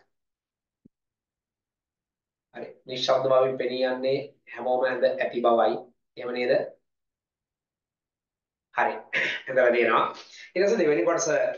L1 හා F උපාංග එක් සිංගිති පරිපත බෙදෙනයක් හෝ විලායකයක් කරහා සම්බන්ධ වන පරිදි රැහැන් නැදීමේ පරිපතය අඳින්න. හරි? දැන් අපිට කරන්න කියන පොතේ රැහැන් අඳින පරිපතය අඳින්න කියලා කියනවා. වයරින් ඩයග්‍රෑම් එක. හරි මම මේක මකනවා දැන්. හරි වයරින් ඩයග්‍රෑම් එක අඳින්න කියන පොතේ මොකක් එක්කද? හොඳට බලන්න. වයරින් ඩයග්‍රෑම් එක අඳින්න කියන පොතේ මොකක් එක්කද? ඕ L1 සහ F. F කියන්නේ පොතේ විදුලි පන්කාව. L1 කියන්නේ පන්කාවේ වේග පාලකය. හරිද? දැන් පොතේ පන්කාව සම්බන්ධ කරද්දී පොතේ පන්කාවකට එනවද? අර්ත් එකක් එනවද? පන්කාවකට විදුලි පන්කාවකට? අර්ත් එකක් එන්නේ නැහැ. ලයිව් එක එනවා නියුට්‍රල් එක එනවා. හරිද? එතකොට ලයිව් එක කන්ට්‍රෝල් කරන කවුරුද? වේග පාලකේ මගින්. එතකොට මම ඒක මෙහෙම අදිනවා මෙතන තියෙනවා පුතේ මම අදිනවා ස්විච් එක මෙතන තියෙනවා අපි ඔය කියන පන්කාවේ වේග පාලකය හරිද පන්කාවේ වේග පාලකය එනවා මෙන්න මෙතෙන්ට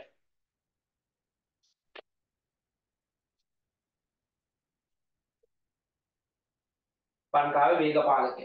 මෙතෙන්ට එනවා පුතේ අපි ඔය කියන පන්කාව. මේ තමයි වේග පාලක ස්විච් එක. මේක පන්කාව. එතකොට ලයිව් එකෙන් ඉස්සර නියුට්‍රල් එකෙන් කරන්ට් එකක් මෙතෙන්ට එනවා. හරි? මේ තමයි නියුට්‍රල් එක. මෙතනින් එනවා ලයිව් එකෙන් කරන්ට් එකක්. මෙතන විලායකයක් කරා මෙයාව සම්බන්ධ කරනවා. ඔච්චරයි.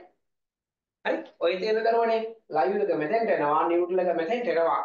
තවත් මේ පරිපතය ඉස්සරහට දිවෙනවා නම් තව මොන හරි උපාංග සම්බන්ධ වෙනවා නම් මේ ඕනනම් මෙච්චර අඳින්න ඕනේ අවශ්‍ය නම් අඳ ගන්නවා මෙතනින් ඉස්සරහට ලයිව් එක යනවා මෙතනින් ඉස්සරහට නියුට්‍රල් එක යනවා ඊළඟ උපාංගය එතනින් සම්බන්ධ කරනවා පැහැදිලිද ඔයාලා මේ කැලේ දෙක අඳින්න අවශ්‍ය නැහැ ඔයාලා මෙන්න මේ රූප සපහනයි මෙයන් අඳ ගන්න මේ කැලේ දෙක අවශ්‍ය නැහැ නමුත් අපි ඉස්සරහට තව උපාංග සම්බන්ධ කරනවා නම් පරිපතේ මේ විදිහට අපිට ඉස්සරහට දික් කරන්න පුළුවන් කියලා පොතේ මතක තියාගන්න එච්චරයි තියෙන්නේ. තේරුණානේ?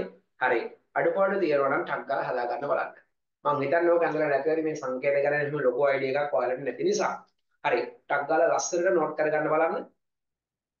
මතක තියාගන්න පන්කාවේ සහ වේග පාලකයේ සංකේතනික මතක තියාගන්න. හරි.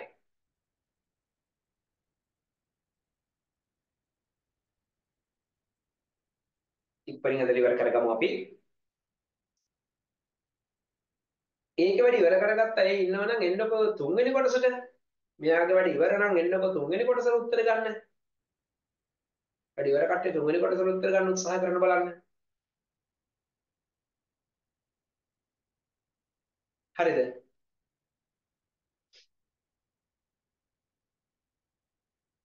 හරි මේක ඉවර ඇති. හරි.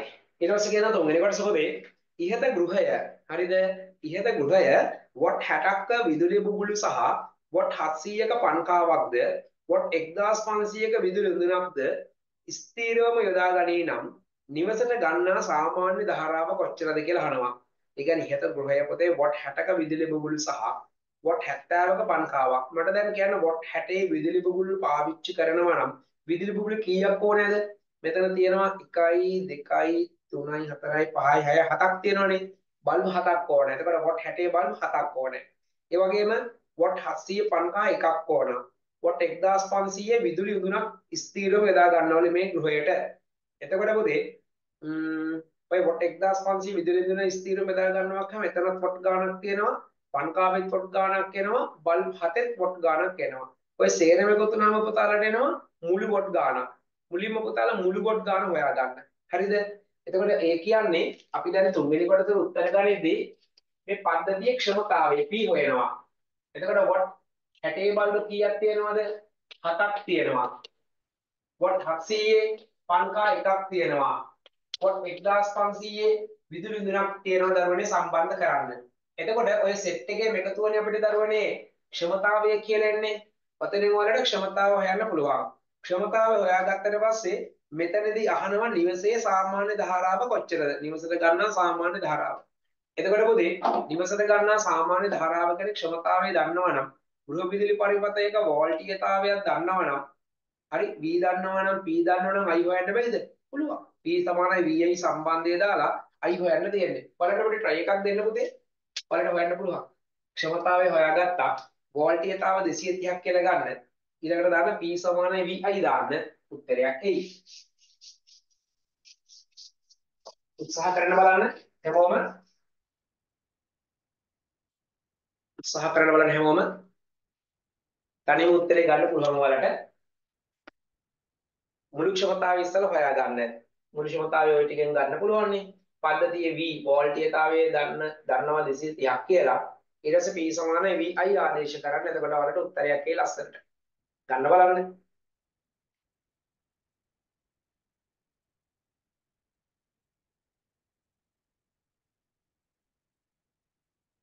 අරන් ඉවර කරමු අපි. උත්තරේ දාන්න බලන්න ධාරාව කීයද ආවේ කියලා. හරි අශානෙට නම් උත්තරයක් ඇවිල්ලා දෙනවා. එම්පියර 10 දශම ගාණක් බලන්න අනිත් අයටත් එන උත්තරේ ගන්න ටක් ටක් ගාලා.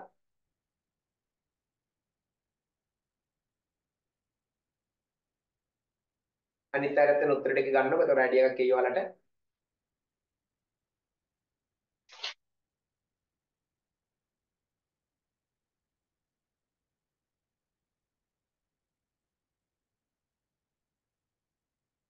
දරුවෙක් අහනවා මංජල බණ්ඩාර අහනවා සර් සමරි සටහන කියන්නේ පිරිසැලසුමටමද? ඔව් පුතේ. සමරි සටහන කියන්නේ පිරිසැලසුමටමයි. ඔය පිරිසැලසුමට නම් කීපයක් කියනවා. පිරිසැලසුමට කියනවා පුතේ සමරි සටහන, ගෘහ නිර්මාණ ශිල්පී සටහන සහ පිරිසැලසුම කියලා තුන් දෙනාම ওই නමට තමයි අයිති වෙන්නේ. ගෘහ නිර්මාණ ශිල්පී සටහන කිව්වත් ඒ කියන්නේ ආර්කිටෙක්චරල් ඩයග්‍රෑම් එක කිව්වත් පිරිසැලසුම තමයි. ඒ වගේම තව සමහර විට සංකේත සටහන කිව්වත් ඒත් ඕකම තමයි. හරි. බලන්න මේකට උත්තර ආපු කට්ටිය ගන්න. ඇම්පියර් කීයද ආවේ කියලා. ඇම්පියර් කීයද ආවේ කියලා ගන්න බලන්න ටට්ටක් ගාලා. ඇම්පියර් 11 දශම ගණන් ආපු දරුවොත් ඉන්නවා.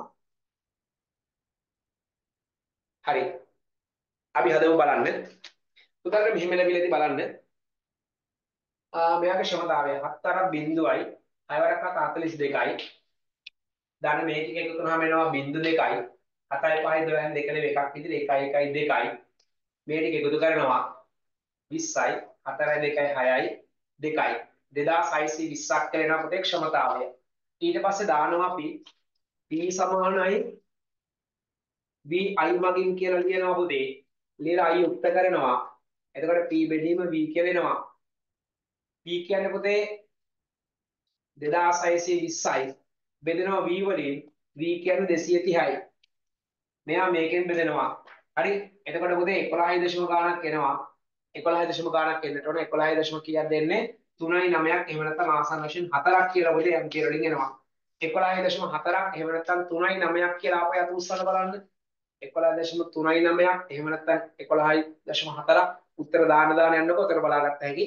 ආ හරි. හුඟක් අයට ඒ උත්තර ටික වෙලා තියෙන්නේ. හරි 11.3යි 9ක් එහෙම නැත්නම් 11.4ක්. හරි. අඩුපාඩු තේරුම් ගන්න ටික ටට්ටක් කරලා දඩ බඩස් කරලා හදා ගන්න. හරි. මෙහෙම උත්තර වෙලාදී ඈ. හරි. ඔන්න පොතේ තුන්වෙනි කොටසත් හරි. හරි.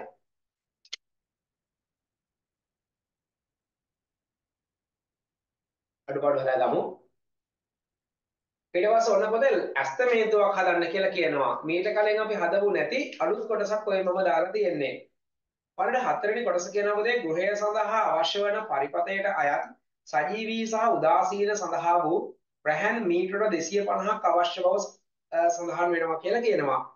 එනයින් සැලසුම සඳහා වන දල ඇස්තමේන්තුවක් පිළියෙල කරන්න කියලා කියනවනේ. හරි. ඒ කියන්නේ පුතේ මෙතනදී කියනවා රැහන් මීටර 25ක මිල රුපියල් 200යි. දැන් රැහනක් කියන්නේ පුතේ මෙතන මේ සජීවී සහ උදාසීන සඳහා වූ රැහන් මීටර 250ක් අවශ්‍යයි කියනවනේ. එතකොට එතකොට දරුවනේ ඔතනදී අපිට ඔය කියන්නේ නියුට්‍රල් එකයි ලයිව් එකයි සඳහා මීටර 250ක් ඕනේ. ඒ කියන්නේ ඔතනින් අදහස් කරන දරුවනේ මේ ලයිව් 250ක් වෙනමම නියුට්‍රල් 250ක් වෙනමම නෙමෙයි ඈ. නියුට්‍රල් සහ ලයිව් 250ක් වන මීටර. ඒ දෙන්නගේම එකතුව. එතකොට පොදුවේ කියනවා රැහන් මීටර 25ක මිල 200යි. එතන අපිට එක අයිඩියා එකක් එනවා. ඊළඟට ස්විච් ගැන කතා කරනවා. තනි ද්‍රව ස්විච් ද්‍රව දෙකේ ස්විච් ද්‍රව තුනේ ස්විච් ගැන කියනවා. අපිට මේ කතාවේ පහන් සඳහා ආවේ තනි ද්‍රව ස්විච් එක. එතකොට මෙතනදී අපි ගන්න තනි ද්‍රව ස්විච් කියන කට්ටිය විතරයි. ඊට පස්සේ පන්කා පාලකයක් තියෙනවා. ඒකට මිලක් යනවා. පේනු ගත්තාම ඇම්පියර් 5 වගේ මිල වෙනම 15 වගේ මිල වෙනම දාලා දෙනවා. අපිට මෙතන ගාණ කියනවා මේ තුන්වෙනි කොටස කියනවනේ පොදේ වොට් 1500ක විදුලි ඉන්ධනක් ස්ථිරව යොදා ගන්නවා මේ ගෙදරට කියලා. එතකොට පොදේ වොට් 1500 විදුලි ඉන්ධනක් යොදා ගන්නවා කියන්නේ ඒකට වොට් 5 ප්ලග් එකක් දාලා බෑනේ. මොකද වොට් 1000ට වඩා වැඩියෙන් භාවිතා කරන උපකරණ සඳහා වොට් 15 යොදා ගන්නවා කියලා කියලා තියෙනවනේ. සෝරි ඇම්පියර් 15 යොදා ගන්නවා කියලා. එහෙනම් ඔතෙන්ට ඇම්පියර් 15 ප්ලග් එකක් තමයි ওই ගෙදරට ඕන වෙන්නේ. හරිද? ඒතර ඇම්පියර් 5 කතාවක් කියන්නේ නැහැ. ඊට පස්සේ ප්‍රධාන ස්විච් බෙදුම් පෝරුව සහ මිහිකාන්දු වහරුව සඳහා ඒ කියන්නේ DB එක සඳහා ඩිස්ට්‍රිබියුෂන් බෝඩ් එක සඳහා යන වියදමනේ. හරි. ඒකට රුපියල් 5000ක් යනවා කියලා කියනවා. හරි. එතකොට ඒ ටික එපෑ කොහොමද? හරි. එතකොට දැන් මෙතනින් අවශ්‍ය ඒවා තෝරගෙන වෙන වෙනමම පුතේ බලන්න මෙයාට බිල් එකක් හදන්න බලන්න. වෙන වෙනම වලට බිලක් හදන්න පුළුවන්. පොඩි try එකක් දෙමු බලන්න.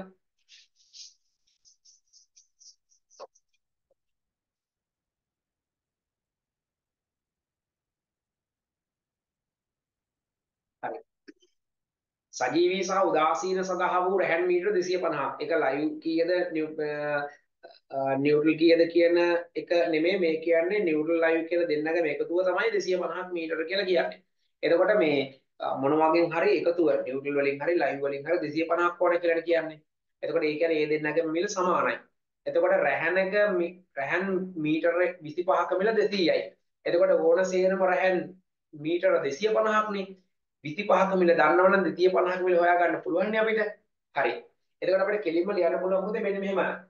රැහන් සඳහා රැහන් සඳහා වියදම හොයන්නකෝ කොහොමද හොයන්නේ?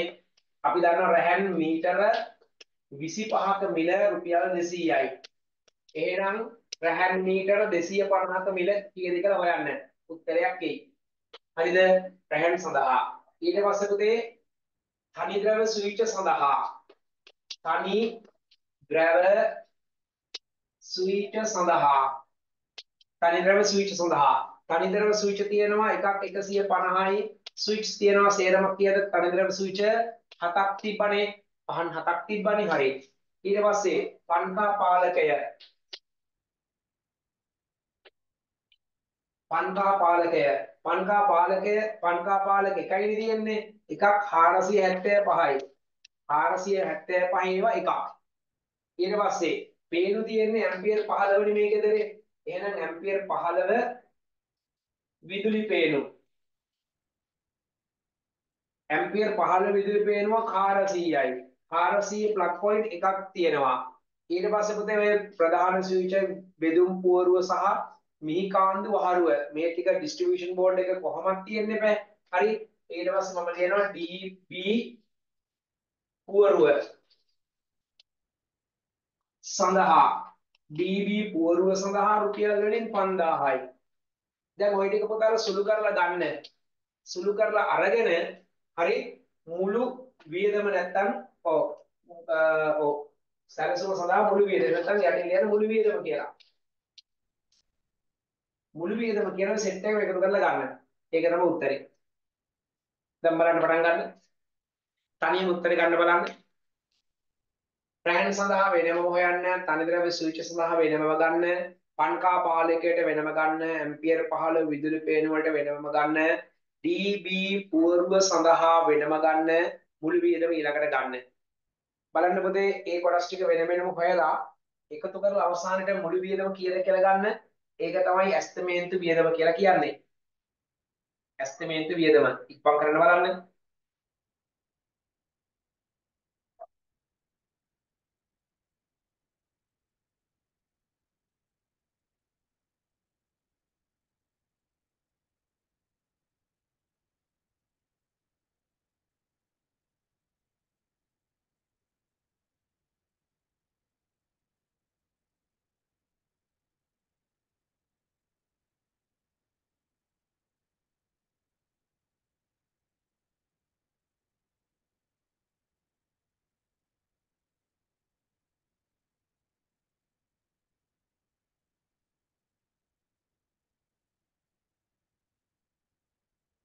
ඉක්පා කරලා ගන්න.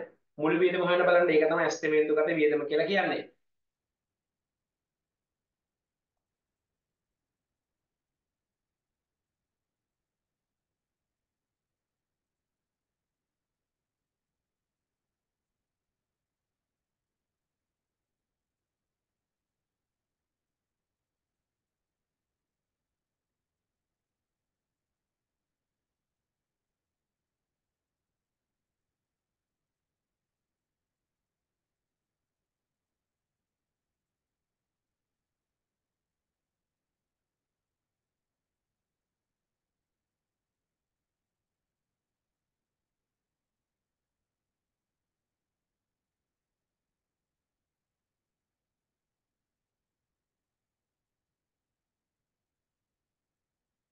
හරි මුළු වියදම හොයන්න බලන්න ටක් දාලා ඔය වටිනාකම් ටික එකතුව ගන්න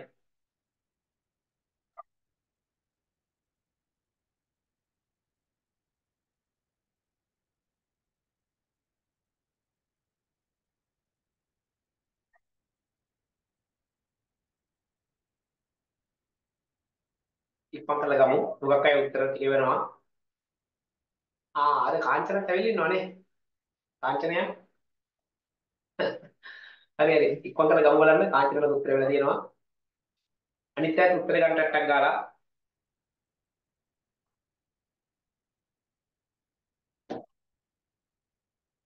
හරි හැමෝම උත්තර දානවා. අපි බලමු උත්තර ටික. right.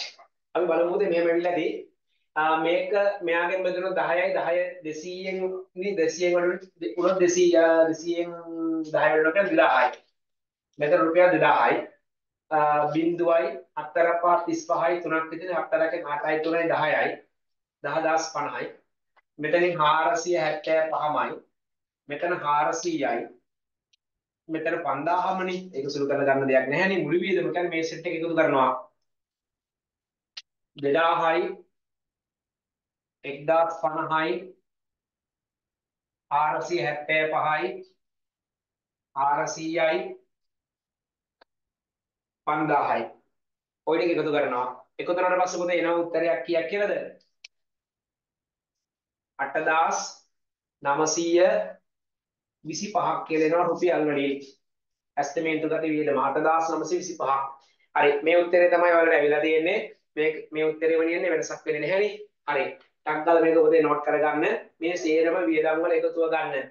2000 1050 475 400 ඔය සහ 5000 ඔය සේරම ටික එකතු කරන්න 8925ක් කියලා උත්තරේ එනවා කියලා කියනවා. රයිට් ඒ උත්තරේ ඔයාලට අවිල්ලා ඇති. හොඳයි.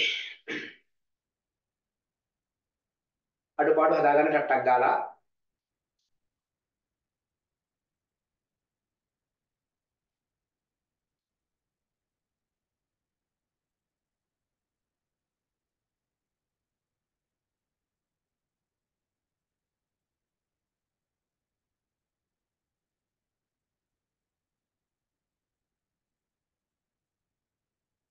හරි ඉවරයි නේද?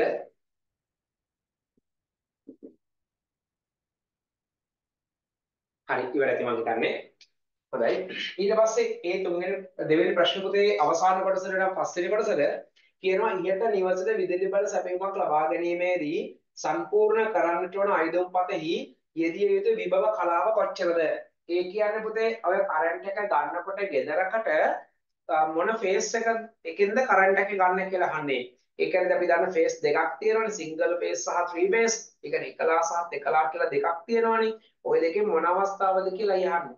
නිවසකට විදුලිය ගන්න මොන අවස්ථාවේදීද පුතේ? ඔව් දෙකලා අවස්ථාවේ. sorry මේ එකලා. ඒ කියන්නේ සිංගල් ෆේස් අවස්ථාවේදී තමයි නිවසකට විදුලිය ගන්න. ඒ නිසා ලියන්න පුතේ මොන අවස්ථාවේදීද කියලා අහනවා ලියන්න. එකලා එකලා එකලා කියලා ලියන්න. එකලා කියන්නේ සිංගල් ෆේස් කරා සිංගල් පේස් කියලා දෙයා ගන්න. එකලා ඒ කියන්නේ සිංගල් පේස්. Single pace. හරි. ඔන්න පුතේ අපි දෙවෙනි ප්‍රශ්නෙට ආවර කළා.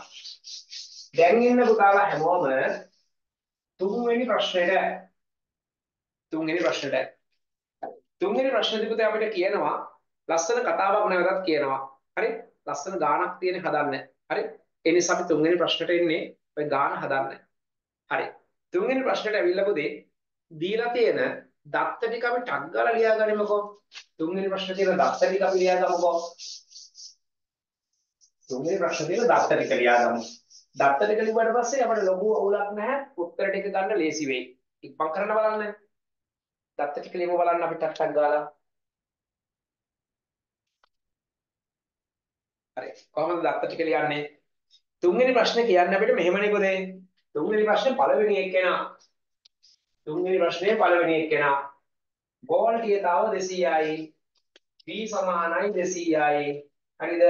සැපියමක තරංගයේ කෝණික ප්‍රවේගය ඔමීගා 40යි තත්පරයට රේඩියන් කියලා කියනවා. එම සැපියුම හරහා ප්‍රේරකයක් සම්බන්ධ කරලා තියෙනවා.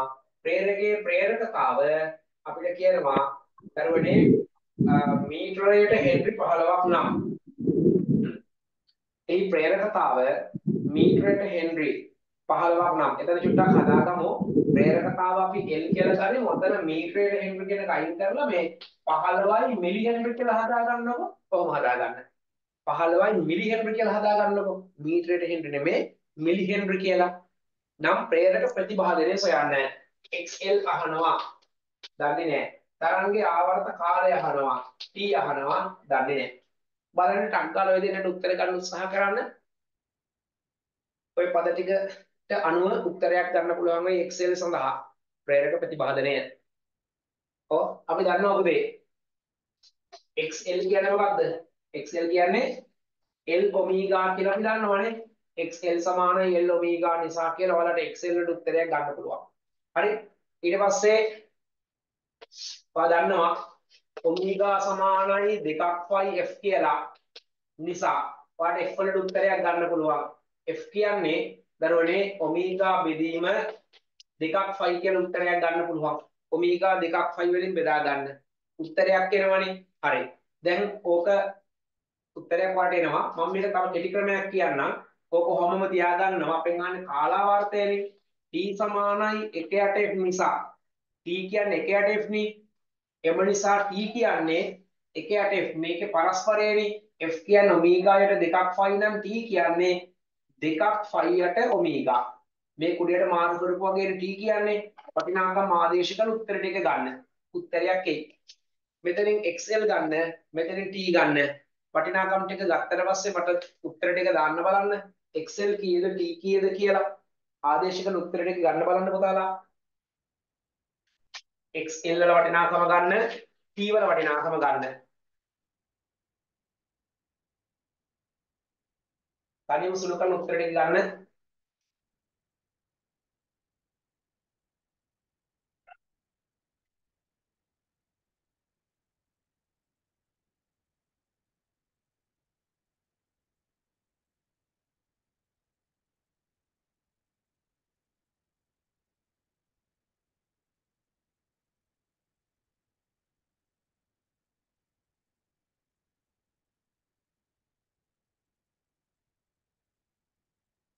උත්තර ගන්න xl වලට ගන්න t වලට ගන්න.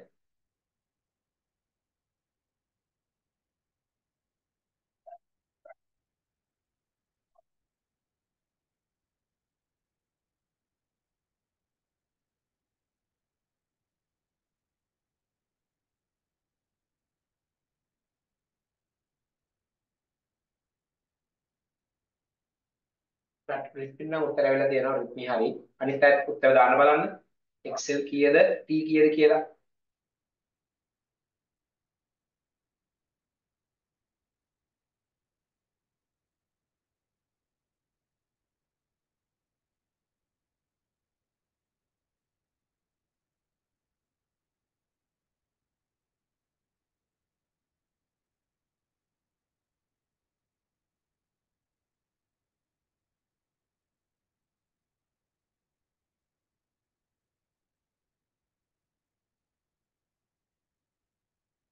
හරි අනිත් අයත් උත්තර එමින් තියෙනවා.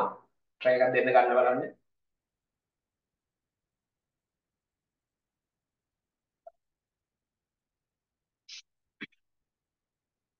හරි ලේසි උත්තර ඉක්මනින් එයි. try කරන්න බලන්න අනිත් අයත් උත්තර ගන්න.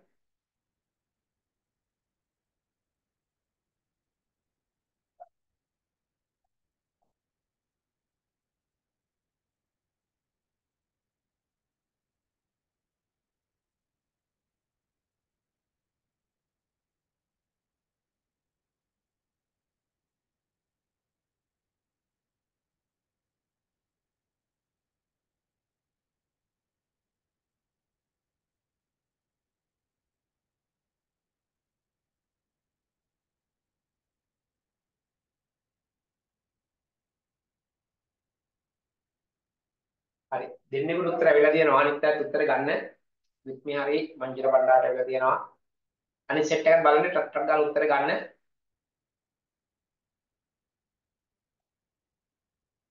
අසන්න ඖෂධ අනිමේෂ් බණ්ඩාර ඉක්මන් කරන්න. මෙවන් මේ චින්තා අපි චින්තා ඉක්මන් කරන්න. ඉක්මන් කරලා ගමු බලන්න. දෙකටම උත්තර ගන්න.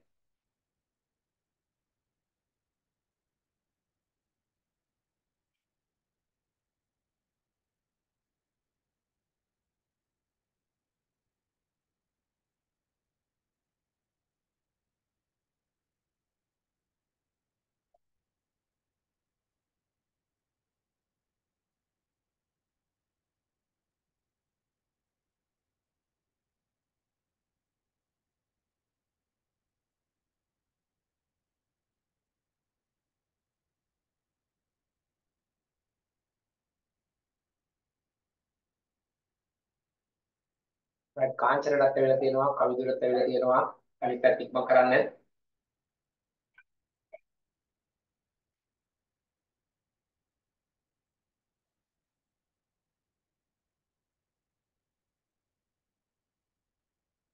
ඉතින් අපි ඉක්මන් කරමු අනිත් දරුවෝ ටිකක්. පට්පට් ගාලා ආදේශ කළ ගමු උත්තර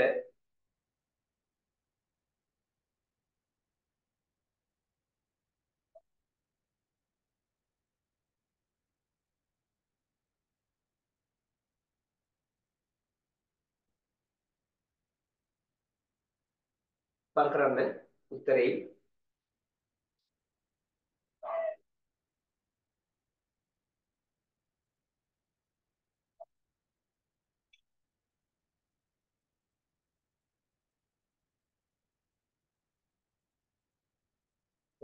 ඉක්මන් කරමු අපි. බලන්න මෙන්න මේ මෙල්ල තියනවාද කියලා පුතාලට. මම හිතන්නේ මොකක් හරි වෙලදී වුණා XL L කියන්නේ පුතේ 15යි මිලි හෙන්රි. 15 වැඩි කළා 10 ඍණ 3ෙන් හෙන්රි කරන්න. ඔමීගා කියන්නේ 40යි 40 15න් වැඩි වුණොත් බිඳුවයි 4ක් 15 කියලා කියන්නේ 60යි එතන 600යි වැඩි කළා 10 ඍණ 3ෙන් හරිද? මේක සුළුනහම එනවා පුතේ 10න් බෙදනවා කියන්නේ දශම 6ක් කියලා එනවා. හරිද? බිඳුවයි දශම 6ක් කියලා එනවා. ඒකකය ඕම් වලින්. ඒකකයේ පොතේ ඕම් වලින් එනවා 0.6ක් කියලා. එතකොට excel කියන්නේ 0.6ක් කියලා එන්නට ඕන. එතකොට දෙනනම් හදා ගන්න. L කියන්නේ 15යි මිලි හෙන්රි ඔමේගා කියන්නේ 40යි එතකොට l 15ක් මිලි හෙන්රි නිසා හෙන්රි කරනවා 10 වෙන 3ෙන් අපි ගුණ කළා. එතකොට 40 15න් වඩනත් 60යි එතකොට 600යි ඒක 10 වෙන 3 කියන 1000න් බෙදනම 0.6ක් කියලා එනවා. හරි. අඩුපාඩු තියන අය ඉක්මනින් ගන්න බලන්න උත්තර ටික. ඔන්න Excel කියන්නේ ෆෝම් 0.6යි ඒක හරි. ඊට පස්සේ පොතේ P කියලා කියන්නේ දෙකක් ෆයියට ඔමේගා දෙකයි ෆයි කියන්නේ හොමම ආදේශ කරත් කමන්නේ නැත්නම් 22 බෙදීම 7 කියලා ගත්තත් කමක් නැහැ. බෙදුව ඔමේගා ඔමේගා කියන්නේ 40යි මෙයා මේකෙන් බෙදුවට පස්සේ පොතේ ඔයාලට සුළු කරපුවාම උත්තරයක් එයි. 0.15ක් කියලා. 0.15ක් කියලා එයි. කාලාවර්තය තත්පර වලින් 1යි 5යි තම මොකක් හරි එකක් එයි. ආසන්න වශයෙන් ඔයාලට 1යි 5ක් කියලා එනවා. මේ වටිනාකම් දෙකම ආවනම් ඔබ නිවැරදි අඩුපාඩු තියෙනවා නම් ටක් ගාලා බලලා හදා ගන්න උත්සාහ කරන්න. හරි. ඉක්මන් කරලා ගම බලන්න.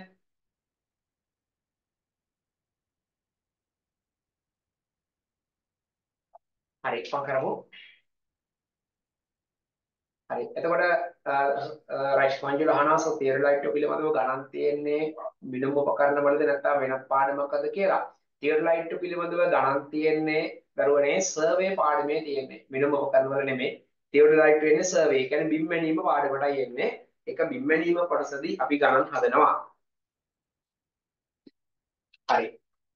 මෙයාගේ වැඩි ඉවරයි. ඊට පස්සේ පොදේ මෙයාගේ වැඩි ඉවර නම් ඔයාලා එන්න ඔහොමම දෙවෙනි කොටසට එන්න පොදේ.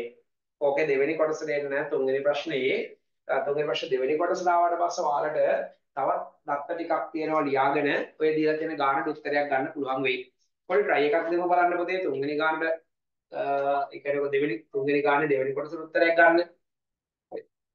මම මේක මකන්නන්නේ නේද? හරිනේ දැන් ඔයාලගෙන ලියනවද නැහනේ? ලියන දරුවෝ ඉන්නවද කවුරුත්? නැහැ ලියනා ඉන්න නම් මේකට අගල නෝට් කරගමු. වැඩි වෙර කට්ටිය ඊළඟ කොටසට එන්න එතනක් තියෙන ලස්සන ගානක් ඒකත් අපි හදමු. ඉක්මන් කරන්නකෝ. හරි.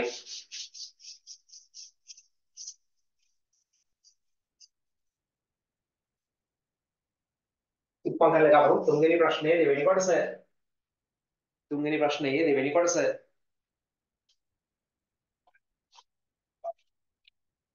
තුන්වෙනි ප්‍රශ්නේ දෙවෙනි කොටස ඉක්මන් කරලා ගන්න. වෝල්ට් 200යි හර්ට්ස් 50ක් වන ප්‍රත්‍යාවර්ත සැපීමකට සම්බන්ධ කරලා තියෙන ධාරිත්‍රකයක ප්‍රතිපාදනය ඕම් 1000යි. ධාරිත්‍රකයේ ධාරිතාව අහනවා. හරි. මෙයාගේ උදේ V සැපියුම් විභවය 200යි වෝල්ට්. ඒ කියන්නේ Vs කියලා ගමුකෝ 200යි වෝල්ට්. F සංඛ්‍යාතය 50යි හර්ට්ස්. ධාරිත්‍රකයක ප්‍රතිපාදනය. ඒ කියන්නේ ධාරිත්‍රක ප්‍රතිපාදනයනේ Xc 1000යි ඕම්. ධාරිත්‍රකයේ ධාරිතාව අහනවා. ඒකයි C අහන්නේ. ඒක දන්නේ නැහැ. හරි. ටක් ගාලා බලන්න ගමු. ලස්සන ගානක්.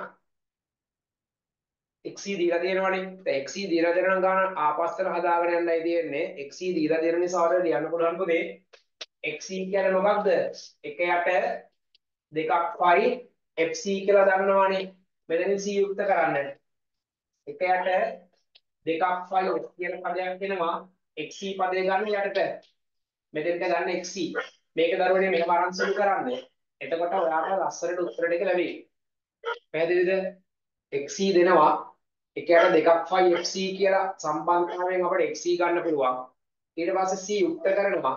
C යුක්ත කරනකොට එකයට දෙකක් ෆයි fr යක් xc කියලා ගන්න. පද ආදේශ කරන්න. උත්තර ටික බලන්න ටක් ගාලා එයි. බලන්න ඉක්මනින් උත්තර ටික ගන්න උත්සාහ කරන්න බලන්න. හරි? ඔයාලට උත්තර ටික ලැබෙවි. ඉක්මන් කරලා ගන්න බලන්න.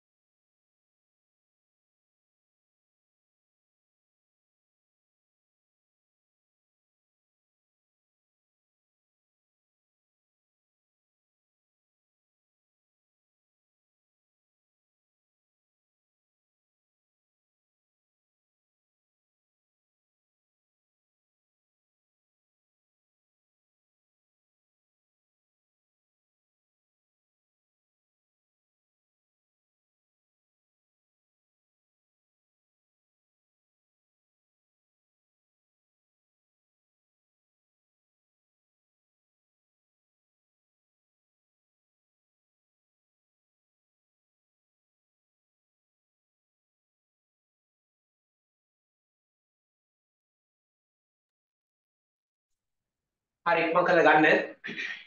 C වලට උත්තරයක් එනවා. ඉක්මන් කරලා ගන්න. ඔක ලේසි ගානක්. ආදේශ කරපුවම උත්තරෙයි.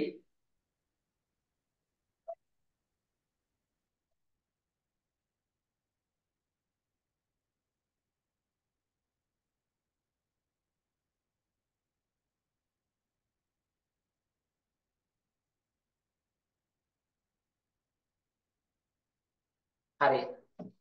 හරි එක එක්කෙනාට උත්තර ලැබිලා දෙන ටිකක් වෙනස් වෙනස් විදිහේ උත්තරත් ඇවිල්ලා තියෙනවා අපිට පේනවා. හරි. අපි බලමු පුතේ උත්තරය කොහොමද ඔයාලට එන්නේ කියලා. මෙන්න මෙහෙම ඇවිල්ලා තියෙන්නේ. 1 යට 2යි 5 කියන්නේ 22ට 7 කියලා දැම්මත් කමන්නේ නැත්නම් දෙකක් 5 කියලා ආදේශ කරත් කමක් නැහැ. F කියන්නේ හර්ට්ස් වලින් පුතේ 50යි. XC කියන්නේ කීයද 1000යි. මෙයා සුළු කරාට පස්සේ වලට උත්තරයක් එනවා පුතේ 3.18 වැඩි කිරීම 10 ඍණ 6ක් කියලා එනවා පුතේ ෆැරඩ් වලින්. මෙයාගේ ආවනම් ඔබ නිවැරදි. බලන්න මේ උත්තරයක් ආවද කියලා. ඒ උත්තර වෙන්න දෙන හුඟක් අයට මේක තමයි උත්තරේ 3.18 වැඩි කිරීම 10 ඍණ 6යි. කෙනෙකුට ඕන නම් මේක ලියන්න පුළුවන් 3.18යි මයික්‍රෝෆැරඩ් කියලා ලියන්න පුළුවන් ඕන නම් මයික්‍රෝෆැරඩ් කියලා ලියන්න පුළුවන්. හරි අඩුපාඩු දේවල් ටික හදාගමු. හරි. ඔන්න තුන්වෙනි ප්‍රශ්නේ ඉවරයි. දැන් එනවා හතරවෙනි ප්‍රශ්නෙට. හරි. දැන් මෙතන ඉහට ගණන් නම් නෙමෙයි අහන්නේ වෙන කතන්දර ටිකක් අහන්නේ. හරි මේ ටික නෝට් කරගන්න අඩුපාඩු තියෙනවා නම් ඉක්මන් කරලා බලන්න අඩුපාඩු තියෙනවා දරුවෝ ඉන්නවා නම් ඉක්මනින් ඉවර කරගන්න බලන්න.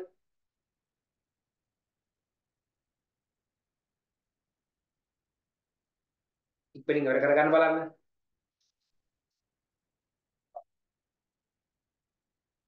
හරි. ඉවර කරගමු අපි.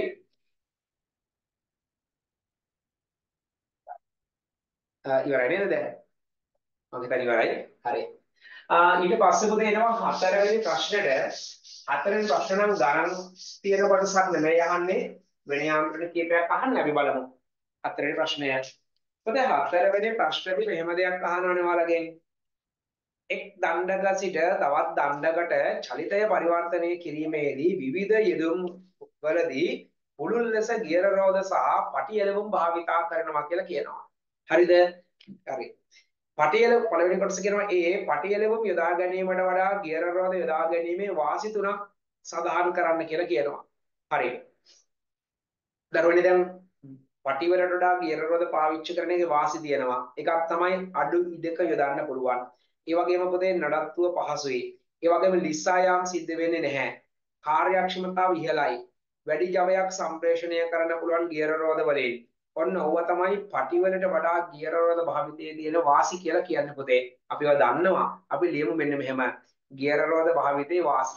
ලියන්න පුතා කීපයක්. ලියන්න. අඩු ඉඩ කඩක භාවිතා කළ හැකි වීම. එහෙම නැත්නම් අඩු ඉඩක අඩු ඉඩක භාවිතා කළ හැකි වීම.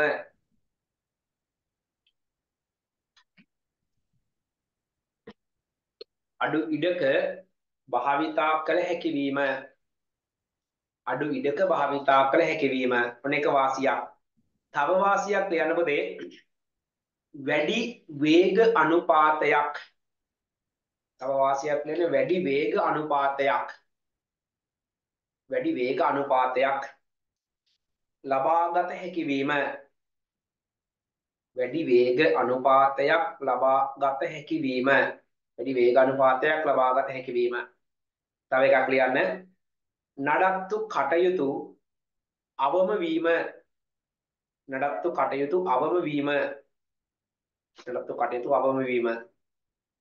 ඒ වගේම පොතේ ලියන්න ඉහළ කාර්යක්ෂමතාවයක් ලැබීම. ඉහළ කාර්යක්ෂමතාවයක් ලැබීම. තව එකක් ලියන්න. ඉහළ කාර්යක්ෂමතාවයක් ලැබීම. තව එකක් ලියන්න. වැඩි ජවයක්. වැඩි ජවයක්. සම්ප්‍රේෂණය කළ හැකි වීම. වැඩි ජවයක් සම්ප්‍රේෂණය කළ හැකි වීම. වැඩි ජවයක් සම්ප්‍රේෂණය කළ හැකි වීම. තව එකක්. ලිස්සීම් රහිත වීම. ලිස්සීම් රහිත වීම. ලිස්සීම් රහිත වීම. හරි. ඔන්න ගියර රෝධ භාවිතය පටිය ලැබුම් වලට වඩා වාසිදායක වෙන හේතුව අපි කතා කළා. ඊට පස්සේ පුතේ B කොටසට එනවා. ගියර රෝධ නිෂ්පාදනය සඳහා යොදා ගන්නු ලබන වෙනස් ද්‍රව්‍ය දෙකක් නම් කරන්න. මොනවද පුතේ ගියර රෝධ හදන්න යොදා ගන්න ද්‍රව්‍යය? ඔව් එකක් තමයි පුතේ යොදා ගන්නවා මධ්‍යම කාබන් වාණය යොදා ගන්නවා. ඒ වගේම අධිවේගී වාණය යොදා ගන්නවා. එහෙම නැත්නම් දරුවනේ තව ආකාරයකට ඒ කියන්නේ තවත් අපිට තව කියන්න පුළුවන් දරුවනේ අවශ්‍යතාවය අනුව තව යොදා ගන්නවා දරුවනේ විශේෂයෙන්ම මේ ගියර රෝධ හදා ගන්න තවත් වාහනේ වර්ග. ඒ කියන්නේ දරුවනේ විශේෂයෙන්ම මේ මධ්‍යම කාබන් වාහනේ නම් යොදා ගන්නේ නැහැ. සෝරි මේ මධ්‍යම කාබන් වාහනේ යොදා ගන්නවා. ඊට අමතරව මේ තව යොදා ගන්නවා මේ වෙනස් ද්‍රව්‍ය විදියට දරුවනේ දැන් දැන් ඒ කියන්නේ දැන් පියර රෝධ නිර්මාණය කරද්දී මේ මල නොකන වාණී වර්ග යොදා ගැනීමලුත් වෙනවා. ඒ නිසා අපි කීපයක් කතා කරනවා. ඒ වගේම තව මෙයාගෙන් අහනවා ඉහත නම් කළ ද්‍රව්‍ය පියර රෝධ සඳහා යොදා ගැනීමේදී එන වාසික එක බැගින් ලියන්න කියලා කියනවා. හරි. ලියනකොට එකක් මෙහෙම ලියන්න මධ්‍යම කාබන් වාණී. මධ්‍යම කාබන් වාණී කියලා ලියන්නකෝ. මධ්‍යම කාබන් වාණී. මධ්‍යම කාබන් වාණය කියලා දාලා ඉදිරියෙන් ලියන්න මධ්‍යම කාබන් වාණයේ ගියර රොද කපන්න යොදා ගැනීමට තියෙන වාසිය ලියන්න. දැඩි බව ඇති කරයි. දැඩි බව ඇති කරයි. දැඩි බව ඇති කරයි. දැඩි බව ඇති කරයි. තව එකක් ලියන්න පොතේ තව එකක් ලියන්න. තව එකක් ලියන්න. අධිවේගී වාණේ අධිවේගී වාණේ අධිවේගී වාහන. ලියන්න පුංචි කැලක් ගහලා පුතේ ගෙවීම අවම කරයි. ගෙවීම අවම කරයි. අධිවේගී වාහනේ ගෙවීම අවම කරයි. තව එකක් ලියන්න පුතේ මල නොකන වාහනේ. මල නොකන වාහනේ. මල නොකන වාහනේ. ලියන්න පුතේ මල බැඳීම් ප්‍රතිරෝධය වැඩි කරයි. මල බැඳීම් ප්‍රතිරෝධය වැඩි කරයි. මල බැඳීම් ප්‍රතිරෝධය වැඩි කරයි. හරි. ඊට පස්සේ මොදේ C කොටස දෙනවා අවසාන කොටස C කොටසෙන් කියන මොදේ මෙහෙම දෙයක්. පහත දැක්වෙන චලිතාකාර ලබා ගැනීම සඳහා යොදා ගත හැකි ගියර පද්ධතියක පැහැදිලි දල සටහනක් බැගින් අඳින්න. හරි. ඒ කියන්නේ මොදේ අපෙන් අහනවා ගියර පද්ධතියක පැහැදිලි දල සටහනක්. චලිතාකාර ලබා ගැනීම සඳහා යොදා ගන්න පුළුවන් ගියර පද්ධතියක පැහැදිලි දල සටහනක් බැගින් අඳින්න. ඒ කියන්නේ මොදේ කියනවා වෘත්ත චලිතය රේඛීය චලිතයක් බවට පත් කිරීම. මොකද අපි දන්නවා වෘත චලිතය රේඛීය චලිතයක් බවට පත් කරනවා කොහෙදද? ප්‍රතිමහන මැෂිමක තියෙනවා මොකද ඒ ජවරෝධයක්. ජවරෝධය මෙහෙම තියෙනවා. එයාට සම්බන්ධ වෙලා තියෙනවා පුතේ කුඩා රෝධයක්. ඒ දෙන්න අතර පටියක් තියෙනවා මෙන්න මෙහෙම. ඔන්න පටිය මෙහෙම සම්බන්ධ වෙනකොට මේ තියෙන දඟර කමේ මුහුර්තන ගියරේ නම් හරිද? මෙයා මෙහෙම චලිත වෙනකොට මෙයා චලිත වෙන්නේ මෙන්න මේ පැත්තට රේඛීයව ඒ කියන්නේ මෙයා මෙයා අපි හඳුනා ගන්නවා මේ තියෙන්නේ දඟර කඳ. එහෙම නැත්නම් දඟර කඳ එහෙම නැත්නම් අපි මේක කියමු ජවරෝධය කියමුකෝ. මේක විදිමාන මෙහිම කරන් ජවරෝධය මෙයා පොතේ ජවරෝධයක් මෙයා පොතේ පටියක්. හරිද? ජවරෝධයේ භ්‍රමණ චලිතය පටියේ රේඛීය චලිතයේ පොතේ පත් වෙනවා. පැහැදිලිද? ඔන්න පළවෙනි එක්කනට අපි එක්සාම්පල් එකක් රූපණය කළා. දෙවෙනි කොටස භ්‍රමණ චලිතයේ අංශක අණුවකින් හැලවීම. මේ පළවෙනි එක්කෙනා. දෙවෙනි එක්කෙනා පුතේ භ්‍රමණ චලිතයේ අංශක අණුවකින් හරවනවා. අංශක අණුවක කෝණයකින් හරවනවා. මෙතන තියෙනවා පුතේ බෙවල් ගියර් එකක්. මේ බෙවල් ගියර් එකට සම්බන්ධ වෙලා තියෙනවා තවත් ඒ වගේ ගියර් එකක්. මෙහෙම හිතන්නකෝ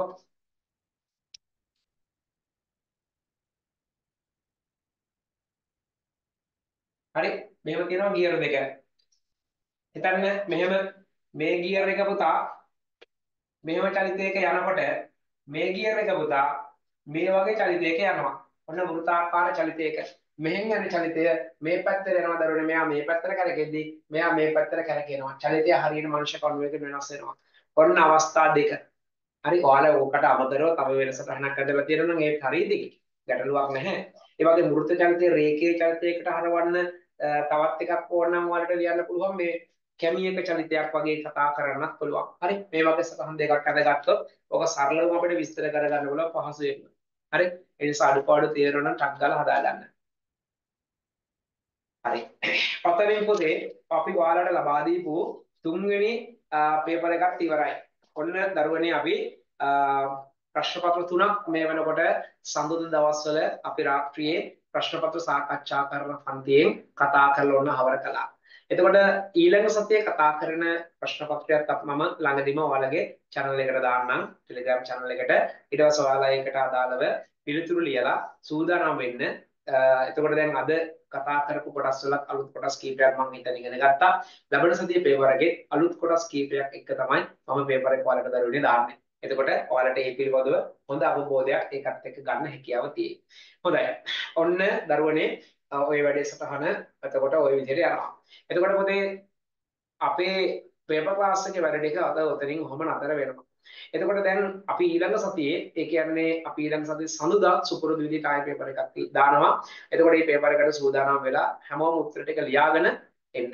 ඒ වගේම දරුවනේ මොනවා හරි ප්‍රශ්න දැනගන්න තියෙන දේවල් මොනවා හරි අවුල් තැන් එහෙම දේවල් ඔයාලට තියෙනවා නම් මට කියන්න බලන්න.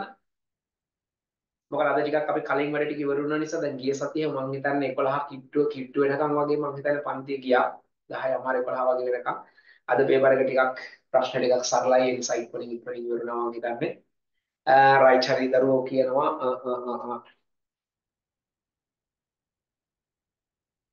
සර් පුළුවන් නම් මේ පේපර් එකට ඔටෝමොබයිල් වැඩිපුර දානවද? ඇයි ඔටෝමොබයිල් ඔයාලට අවුල් වගේද? කියන්නේ එහෙම නිකන් වැඩිපුර ප්‍රශ්න කරන්න ඕන වගේ කියන්නේ දැන් මට තේරෙන්නේ නැති සීන් එකක් වගේ තියෙනවද? හරි මම බලන්නම්. ඒ වගේම තව කියනවා සර් සර්ච් ඔෆ් නියම ගණන් ටිකක් කරනවද? හරි. හොඳයි. බලමු කොහොමද ඔයාලගේ අදහස් එක මට පෙවර එක ඊළඟට ඩිසයින් කරගන්න ලේසි. වැඩිපුර කරන්න ඕනේ, වැඩිපුර ආවරණය කර ගන්න ඕනේ වගේ දේවල් ඔයාලගේ පැත්තෙන් කියවෙනවා නම් මට ලේසි ඉතිරි දේවල් ටික හදා ගන්න. ඒකයි මම මේ හදන්නේ. හරි. අවදරෝ දෙන්නෙකුගේ අදහස් ඒ. තව අදහස් එහෙම තියෙනවද කට්ටියගේ? එහෙම තියෙනවනම් මට බලන්න දාන්න.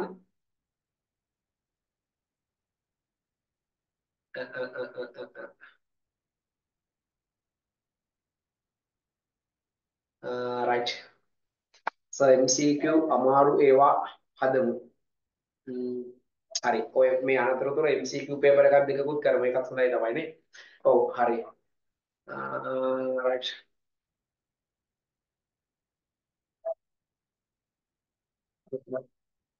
එතකොට බය වලට ප්‍රශ්න තමයි හොඳම කියලා.